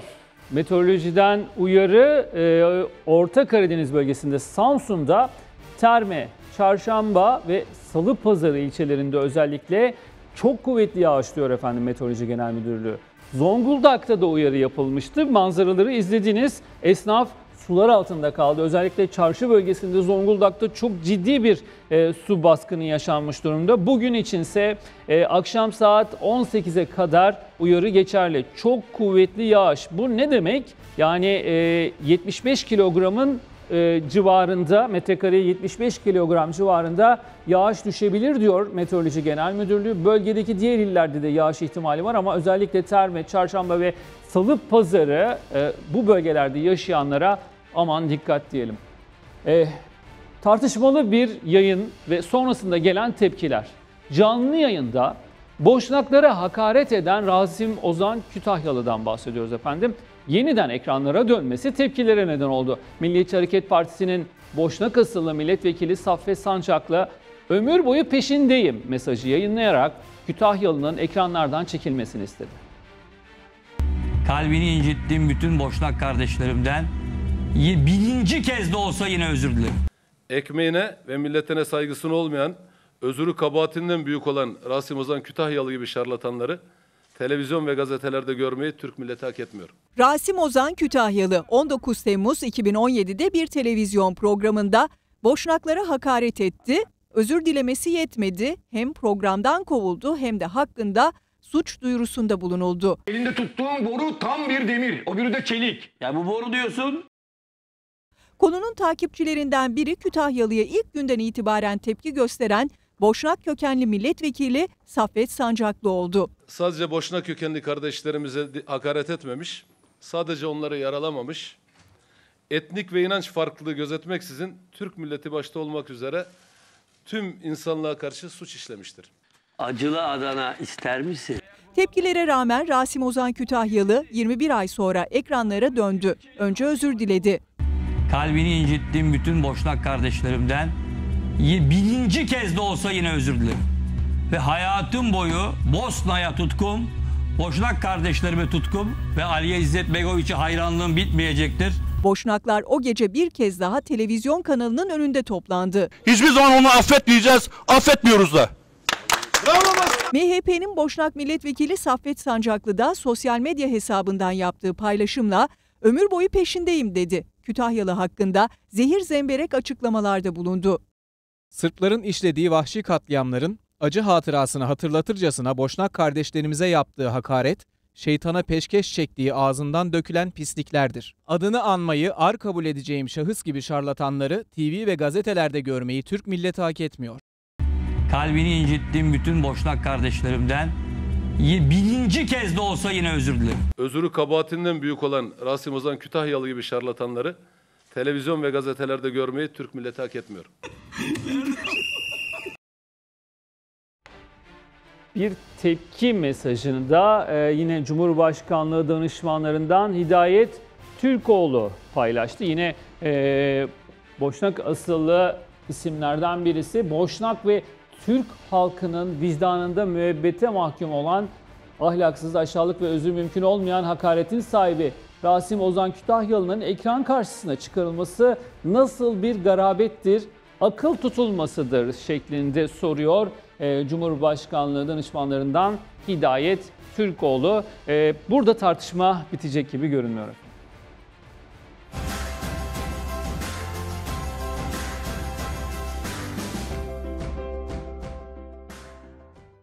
Adana'nın Yüreğir ilçesi korkunç bir katliama sahne oldu. Psikolojisi bozuk olduğu için ordudan atılan bir kişi mahallede önüne geleni ateş etti. Kurşunların hedefi olan 3 kişi hayatını kaybetti.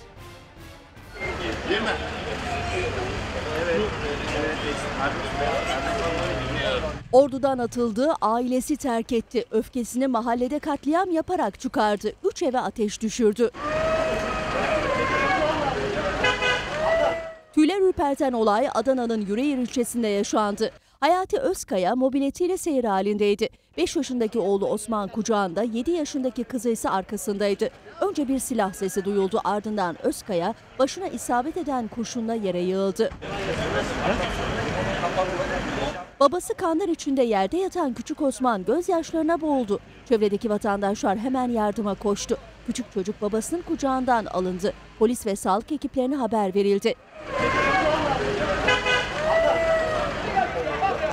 Daha ilk olayın şoku atlatılmadan 500 metre uzaklıktaki kahvehaneden silah sesleri geldi. İş yeri sahibi Okan Develi ile arkadaşı Necmettin Şahinoğlu da tabancayla başlarından vurulmuştu. Olayı duyan yakınları sinir krizi geçirdi. Özkaya'nın eşi ve çocukları da olay yerine koştu. Vehpari Özkaya eşinin ölümüne inanamadı, şoka girdi. Çocukları da gözyaşlarına boğuldu. Hadi koş otur. Ya anne şu çaprazın oturan yok Ayşe'nin babası. Ayşe'nin babası mı? Niye? Ne bileyim ben. Geldi arabamızın arabayla durdu sıktı. Bana da sıkıyordu ben. Ya. Cinayet dedektifleri olayı kısa sürede aydınlattı. Üç cinayetin zanlısının ordudan psikolojisi bozuk olduğu için atılan Assubay Güçlü Doğan T olduğu belirlendi. Kısa sürede yakalanıp sorguya alındı. Zanlının otomobiliyle mahallede tur atıp önüne gelene ateş ettiği ortaya çıktı. Kahvehaneye gittiğinde otomobilden inip kurşun yağdırdığı, kurşunu bitince kaçtığı belirlendi. Yani kurşunları bitmese katliama devam edecekti.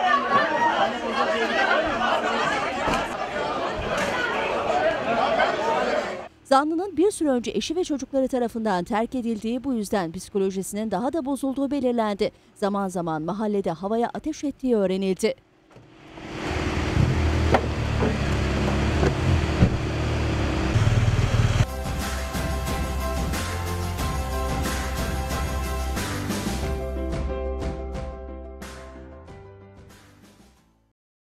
Ülkenin gündemi, siyasetin gündemi yine çok yoğun efendim. Bugün bir doğum günü kutlaması var. Ee, bütün detayları alabilmek için de Ankara'ya döneceğiz. Sevgili haber müdürümüz Ahmet Sözcan karşımızda. Günaydın Ahmet. Günaydın. Ankara'dan da iyi yayınlar diliyorum. Kimin doğum günü bugün?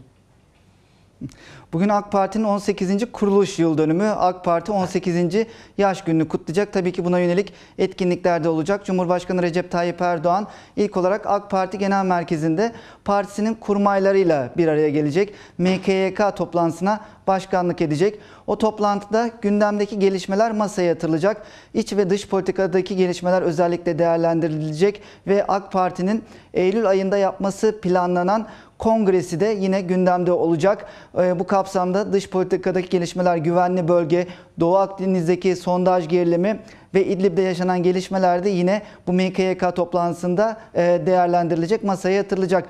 Cumhurbaşkanı Recep Tayyip Erdoğan bu toplantının ardından da saat 17.30'da Ato Kongrezyum salonunda AK Parti'nin 18. yıl dönümü kutlama törenlerine katılacak. Burada bir konuşma yapacak. E, Geniş katılımlı bir e, tören düzenleneceğini söyleyebiliriz. Yaklaşık 1000 kişi davet edildi. Ancak daha önceki bağlantılarımızda ve haberlerde de vermiştik. Bu kapsamda 3 isme davetiye gitmemişti. Abdullah Gül, Ali Babacan ve Ahmet Davutoğlu bu törene davet edilmemişti. Dolayısıyla Cumhurbaşkanı Recep Tayyip Erdoğan'ın kutlama töreninde vereceği mesajlar, AK Parti'nin 18. yılına ilişkin ve bundan sonraki vizyonuna ilişkin vereceği mesajlar oldukça önemli. Gelenlerle birlikte Recep gelmeyenlerin de çokça tartışılacağı bir e, doğum günü kutlaması olacak galiba. Ee, Gerçekten öyle olacak. Ee, 18. yaş kutlamasına ilişkin olarak da e, özel bir marş hazırlandı. O da AK Parti'nin sosyal paylaşım hesaplarından kamuoyuna e, duyuruldu. Ayrıca bugün AK Parti'nin 18 yılını anlatan zaman tüneli niteliğinde bir de video hazırlandı, bir film hazırlandı. O filmde de AK Parti'nin kuruluşunun yani kuruluşundan 2001 yılından itibaren bugüne kadar AK Parti içerisinde yer alan isimler, aktörler yer alacak. Ancak e, az önce de belirttiğimiz gibi e, bugünkü törene 3 isim davet edilmedi. Dolayısıyla senin de vurguladığın gibi gelenlerin yanı sıra gelmeyenler açısından da ya da davet edilmeyenler açısından da dikkat çekici bir tören olacak. Bülent Arınç'ın e, bu konuyla ilgili yeni parti e, kurmaya çalışan bu üç isimle ilgili değerlendirmeleri oldu. E, Parti içindeki e, yükselen bu ses e, yankısı olur mu bugün? Cumhurbaş, e, Cumhurbaşkanlığı Yüksek İstişare Kurulu üyesi Bülent Arınç kendi deyimiyle de özgül ağırlığı olan bir isim. E, Gerçekten de öyle olduğunu da söyleyebiliriz. Yani yanlış bir değerlendirme değil bu. Çünkü AK Parti'nin kurulduğu e, tarihten itibaren çekirdek kadro içinde yer alan isimlerden bir tanesi. AK Parti tarihi boyunca, AK Parti hükümetleri boyunca e, önemli kritik görevlerde bulunmuş bir isim. E, Başbakan yardımcılığı yaptı, hükümet sözcülüğü yaptı, meclis başkanlığı gibi önemli bir e, görevde bulundu, kritik makamlarda bulundu. Aynı zamanda AK Parti içerisinde abi e, olarak nitelendirilen bir isim. Görüşleri oldukça önemli, değerlendirmeleri oldukça önemli. E, son zamanda da zaten bilindiği üzere Cumhurbaşkanlığı Yüksek İstişare Kurulu üyesi olarak görev yapıyor. Tabii ki bu kurulda da yine Cumhurbaşkanı Recep Tayyip Erdoğan'a bu görüşlerini iletiyordur. E, kamuoyuyla da paylaşıyor. E, altı çizilecek noktalar var. Bu üç ismi yola çıkmasına e, Bülent Arınç'ın uyarıları var. Ee, daha önce de AK Parti'den ayrılıp parti kuran isimler oldu. Ee, başka partilere geçen isimler oldu. Ancak bunların başarısız olduğunun altını çizdi Bülent Arınç. Örnekler verdi. Erkan Mumcu örneğini verdi. Abdülatif Şener örneğini verdi. İdris Naim Şahin örneğini verdi. Bu üç isim de dedi e, AK Parti'den ayrıldı. Başka partiler kurdular. Ancak e, partileri tutmadı, siyaset sahnesinden silindiler ifadesini kullandı. Gerçi şu anda Abdülatif Şener CHP içerisinde milletvekili olarak görev yapıyor ancak diğer iki isim e, siyaset sahnesinde şu anda yer almıyor. Bülent Arınç bunları hatırlattı ancak bir öz eleştiri de yaptı. E, mevcut sisteme vurgu yaptı. E, eskiden bilindiği üzere seçimlerde %35 oy almak mecliste, parlamentoda çoğunluğu elde etmek için yeterliydi. Ancak şimdi yeni bir sisteme geçildi. Cumhurbaşkanlığı hükümet sistemi. Cumhurbaşkanlığı hükümet sisteminde %50 artı 1'e ihtiyaç duyuluyor. İşte o %1 çok kritik. Dolayısıyla AK Parti'den gidebilecek herhangi bir oy ya da yeni oluşumların AK Parti'den e, e, vatandaşların oylarını tırtıklaması ya da bunu erozyona uğratması oldukça önemli. Dolayısıyla o yüzde birin en azından muhafaza edilmesi gerekiyor. Bülent Arınç da buna dikkat çekti. AK Parti içerisinde bazı sıkıntılar şu an itibariyle olabilir dedi. Ancak bunların da ilerleyen süreçte toparlanacağının altını çizdi. Ee, burada şimdi özellikle tamam bugün doğum günü, bugün farklı bir kutlama havası olacak Ankara'da ama çok ciddi konular var değil mi? Özellikle e, İdlib, Amerika ve Rusya ve Türkiye desem aslında hemen hemen herkes her şeyi anlıyor. Ama biz burada e, acaba dengelerde bir değişikliğe mi gidiyoruz? Yani Suriye politikasında Amerika ile oluşan bu barış koridoru açıklamaları Rusya'nın tepkisine mi neden oldu biraz? Suriye e, gerçekten çok bilinmeyen bir denklem. Bir satranç tahtası olarak düşünürsek Suriye'yi herkesin e, elinde taşlar var ve bir hamle yapmaya çalışıyor. E, bilindiği üzere İdlib'de Astana mutabakatı çerçevesinde bir gerginliği önleme bölgesi oluşturuldu. Bu kapsamda da Türkiye İdlib'de 12 tane gözlem noktası kurdu ve İran ve Rusya ile varılan uzlaşma çerçevesinde bir gerginliği önleme, önleme bölgesi oluşturuldu ve çatışmasızlık bölgesi oluşturuldu. Bu konuda da mutabakata varılmıştı. Ancak bilindiği üzere Suriye rejimi Rusya'nın da desteğiyle İdlib'deki Han Şeyhun'u ele geçirdi. Dolayısıyla oranın ele geçirilmesi Türkiye'nin özellikle 8 numaralı gözlem noktasının güvenliğini tehlikeye düşürdü. Çünkü bazı kritik noktalarda noktalarla bağlantısı kesilmiş oldu. Aynı zamanda dün Suriye rejimi yine gözlem noktalarımıza 7,5 kilometre mesafedeki alanı bombaladı. Taciz ateşinde bulundu. Dolayısıyla bu konuda Türkiye'nin tepkisi net bir biçimde Rusya'ya iletildi. Aynı zamanda Suriye'de bir yandan da Amerika ile birlikte güvenli bölge çalışmaları devam ediyor. Orada bir müşterek harekat merkezinin kurulması söz konusu. Terör örgütünün e, en az Türkiye'nin talebiyle 32 kilometre derinlikten öteye süpürülmesi konuşuluyor. Buna yönelik çalışmalar var. E, dolayısıyla e, hem Rusya ile hem de Amerika ile bir işbirliği yürüyor. Şimdi senin soruna gelecek olursak... E, bu Rusya'yı rahatsız etmiş olabilir mi? Tabii ki bölgede bütün ülkelerin çıkarları var. Şimdi e, Türkiye'nin Rusya'ya yakınlaşması Amerika'yı rahatsız edeceği gibi aynı zamanda Amerika ile Türkiye arasındaki bir yakınlaşma da Rusya'yı rahatsız edebilir. Dolayısıyla herkes bu denklemde elindeki gücü, elindeki kartları e, ya da satranç e, masası örneğini verecek olursak taşları en doğru şekilde kullanmaya Ahmet çalışıyor. aslında yanlış ifade ettim. Benim ifade hatam için özür dilerim. Yani Rusya istediği kadar alınsın. Rusya benim e, Rusya'nın ne yaptığı benim çok umurumda değil. E, ama hani Türkiye bu politikada bir değişikliğe gidiyor mu? Onu anlamaya çalışıyorum. Aslında Türkiye'nin politikalarında bir değişiklik yok. Ee, Türkiye İdlib konusunda e, Rusya ve İran'la mutabakatını sağladı. Astana süreci işliyor. Hatta 16 Eylül'de de Türkiye'de bir zirve yapılacak. İran ve Rusya devlet başkanları Türkiye'ye gelecek. Cumhurbaşkanı Recep Tayyip Erdoğan'la birlikte üçlü bir zirve gerçekleştirilecek. Oradaki son durum masaya yatırılacak. Öte yandan e, Amerika boyutu var. E, dolayısıyla güvenli bölge çalışmaları konusunda da Amerika ile bir işbirliğinin yapılması gerekiyor. E, daha açık konuşacak olursak e, e, büyük devletler, e, dünyanın önde gelen devletleri kendi çıkarları doğrultusunda jeopolitik olarak dünyanın bazı bölgelerini paylaşmış durumda. Yani kendi egemenlik alanlarına çok fazla girmiyorlar. Suriye denklemine baktığımız zaman da Rusya Fırat'ın batısını almış durumda. Amerika ise Fırat'ın doğusunda e, hakimiyetini ya da oradaki güçlerini tutuyor. Dolayısıyla bunlar birbirlerinin güvenlik alanlarına girmiyor ancak Türkiye'nin e, durumu farklı. İki bölümde Türkiye'yi ilgilendiriyor. Dolayısıyla hem Fırat'ın batısında hem de Fırat'ın doğusunda hem Rusya ile hem de Amerika ile işbirliği yapmak durumunda. E, tabii ki Türkiye kendi çıkarlarını burada ön plana çıkartacak. Özellikle Suriye'de e, Suriye'den Türkiye'ye gelen mülteciler var. Yine İdlib'de yaşanan gelişmelerin yeni bir sığınmacı akı, e, akınını Türkiye'ye getirmesi e, endişesi taşınıyor. Buna yönelik tedbirler alınıyor. Türkiye'nin oradaki amacı hem terör örgütleri orada barınmasın hem de Esad rejiminin zulmünden kaçan insanlar yeni bir göç dalgası oluşturmasın. Çünkü bu göç dalgasının e, zararlarını hep Türkiye çekiyor. Hem mali açıdan çekiyor hem de oradaki geçişkenlik, koridor, terör sızmaları açısından Türkiye yaşıyor. Dolayısıyla Türkiye bu noktada hem Amerika ile hem de Rusya ile işbirliği e, arayışlarında ve bunu da kendi çıkarları doğrultusunda gerçekleştiriyor. Dolayısıyla çok bilinmeyen e, bilinmeyenli bir denklem. Sürekli oradaki denklemler değişiyor. İran var, farklı örgütler var. Dolayısıyla e, Suriye konusunda oldukça dikkat çekici gelişmeler önümüzdeki Kafalar süreçte karışık. yaşanabilir. Evet. Kafalar karışık çok doğru söylüyorsun. Aslında e, tabii ki ülkeler arasında tam bir dostluk diye bir şey yok. Sadece çıkar işbirlikleri söz konusu. Özellikle uluslararası ilişkiler söz konusu olursa. Bütün hafta boyunca sevgili haber müdürümüz Ahmet Sözcan bizi bu konularda Ankara'nın e, gündeminin detayları ile ilgili bilgilendirdi. Kendisine de çok teşekkür ediyorum. Bütün TGRT Haber Ankara ekiplerine de kolaylıklar diliyorum. Hafta sonu boyunca pazartesi görüşmek üzere Ahmet.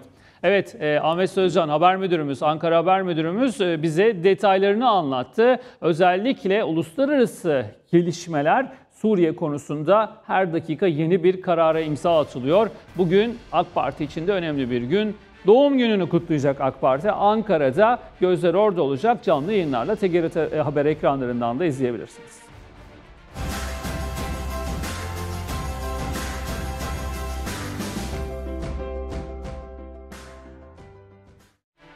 Hepimizin yüzünü gülümsetecek bir haber aktaracağım efendim. Antalya'dan.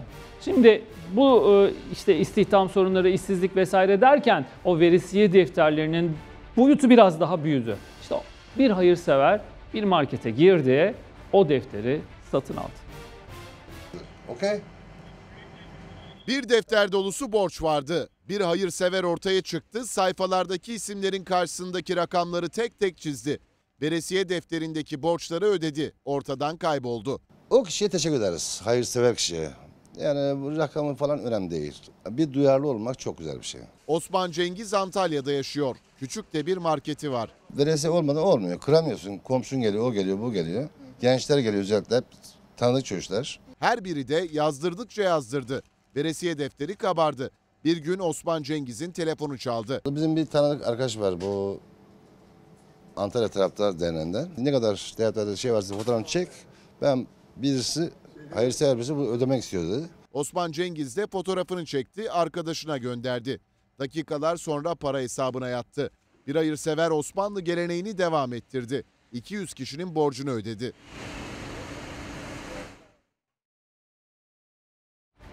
Eğitli Tosun'la gündeme gelen Karadeniz'de röportaj talep eden gazetecilerden bir tosun parası istedi. İşte Karadeniz- Karadeniz'de fenomenin fıkra gibi talebi. Hemen! Dur! Dur! Aferin. Dön buraya. Geç şuraya. Aferin. Şu taşı kaldır bakayım. Trabzon'un Sürmene ilçesinde yaşayan Hüseyin Durmuş, eğittiği Tosun'la haber yapmak isteyen gazetecilerden para istedi. İstersen vazgeç. Haydi geç önüme. Koş! Atla!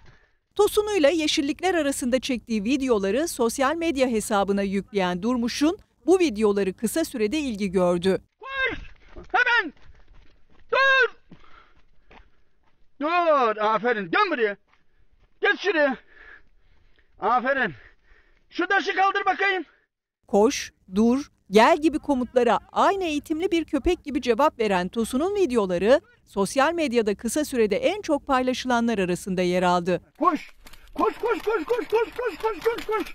Koş koş koş koş koş. Tosun'un sahibi Hüseyin Durmuş, haber yapmak isteyen gazetecilerden 22 bin lira istedi. Kulak al, kulak al. Ha bu kulak. Bak bak. Sosyal medya hesabından Tosun'un bir videosunu paylaşan Durmuş, röportaj ihaleye açıktır. Herkes katılabilir notunu yazdı. Aferin kendini bir göster. Türkiye Vizyon Ödülleri sahiplerini buldu. O ödüllerden 3'ü TGRT Haber'den arkadaşlarımıza geldi. İzleyelim. TGRT Haber'e 3 ödül arkadaşlar ödüller. O ödüller Türkiye Vizyon ödüllerinden TGRT Haber'e geldi. Türkiye Vizyon ödüllerinin teması toplumun kanayan yarası olan şiddetti. Ödül alan herkesin dilinde şiddete tepki vardı. Kadına şiddette söylenebilecek belki de en güzel sözler Kerem Alışık'tan geldi. Şiddetli bir aşktan başka kadına hiçbir şiddet uygulanmamalı bence. Ödül alanlardan biri de aşk şiirlerinin yazarı Ahmet Selçuk İlkan'dı. Onun da kadına şiddete yönelik söyleyecek sözleri vardı. Kadınlara mutlaka bir söz söylemeniz gerekiyorsa bence sadece şiir söyleyin. Çünkü kadınların kendisi zaten şiirlere ilham veren bizim en büyük ilham kaynaklarımızdır. Türkiye Vizyon Ödülleri sağlıktan sanata, müzik dünyasına, turizmden gayrimenkul, güzellik, moda sektörüne kadar sahiplerini buldu. Tabii ki bunların içinde sosyal medya ve medya ödülleri de vardı. Medya ödüllerinden 3'ü TGRT Haber'e geldi. İlki 3 yıldır TGRT Haber'de ekrana gelen Dün Bugün Yarın adlı programa verildi. Geçen sezon özellikle e, savaş bölgelerinde cinsel şiddete uğramış kadınların hikayelerini ekrana getirdik. E, uluslararası e, konferanslara katıldık. O konferanslarda konuşulanları ekrana taşıdık. Aslıgül Atasagun Çebi yaptığı röportajlar ekrana taşıdığı gerçek hikayelerle en iyi haber programı ödülünü aldı. Buradan e, başta Aslıhan Ören olmak üzere tüm TGRT ekibine teşekkür ediyorum. Yılın en iyi kadın muhabiri ödülü TGRT Haber Merkezi'nden Özay Erat'a verilirken TGRT Haber spikeri Mehmet Aydın da yılın haber spikeri ödülünü aldı. İyi akşamlar diliyoruz. Tabii kadına şiddet haberlerini sunmayacağımız, haberleri ekranda okumayacağımız günlere dönmek istiyoruz. Bu ödülü TGRT Haber çalışanları adına alıyoruz efendim. Törenin sonunda herkes evine Türkiye Vizyon ödülleriyle dönerken TGRT Haber ekibi de 3 ödülü TGRT Haber'e getirdi. Gururluyuz, mutluyuz. TGRT Haber'e teşekkür ediyoruz. Programlarımız devam edecek. Evet, tüm ekibimize teşekkür ediyoruz. Genel yayın yönetmeninden, haber müdüründen, editör arkadaşlarımızdan, rejideki arkadaşlarımıza kadar çok büyük bir ekibiz. Tabii e, çok değerli patronumuzu Aslan Ören'i de unutmamak lazım. Onun da bize katkıları çok büyük. Çok geniş bir sağ açıyor bize. E, bu ödüller hakikaten bizi e, mutlu kılıyor, mutlu addediyor. Yarınlara daha güzel bakmamızı sağlıyor. TGRT Haber ekibine teşekkürlerimi sunuyorum. Arkadaşlarımıza başarılar diliyoruz. Türkiye'nin gündemi. Biz e, Günaydın Türkiye programı içerisinde biliyorsunuz e, Türkiye'nin gündemini arıyoruz. Günün getireceklerini size aktarmaya çalışıyoruz ama sosyal medyadan sizi de dinliyoruz efendim. Sosyal medyanın şu anda en çok tartıştığı konu Emine Bulut cinayeti. Bir kadın daha 10 yaşında çocuğunun gözleri önünde eski kocası tarafından bıçaklanarak öldürüldü. O anların görüntüleri var. Onları paylaşmayacağız. Derdimiz o kanlı görüntüleri tekrar aktarıp size dertle, sizi dertlendirmek değil. Ama bu tartışma önemli. Çünkü az önce de izlediğiniz kadına yönelik şiddetin hiçbir manası olamaz.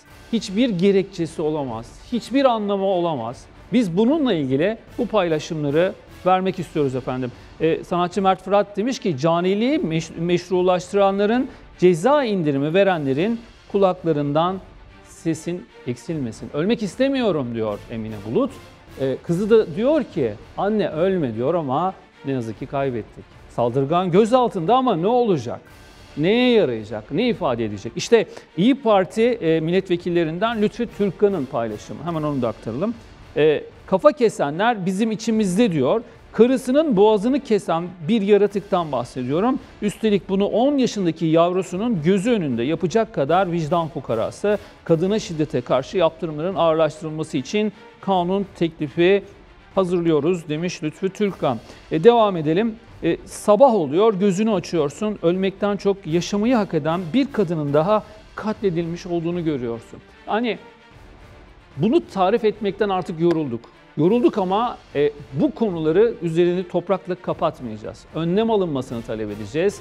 Bu ekranlardan kadınların sesini ve toplumun vicdanının sesini aktarmayı sürdüreceğiz. Bu paylaşımla bugünkü Günaydın Türkiye'nin de sonuna geliyoruz. Yeni bir kadın cinayetiyle karşılaşmayacağımız bir Türkiye umuduyla programımızı kapatıyoruz efendim. Pazartesi sabah 6.45'te bendeniz Gökhan Kayış yine bu ekrandan Günaydın Türkiye diyebilmek için burada olacağız sizleri de bekleriz.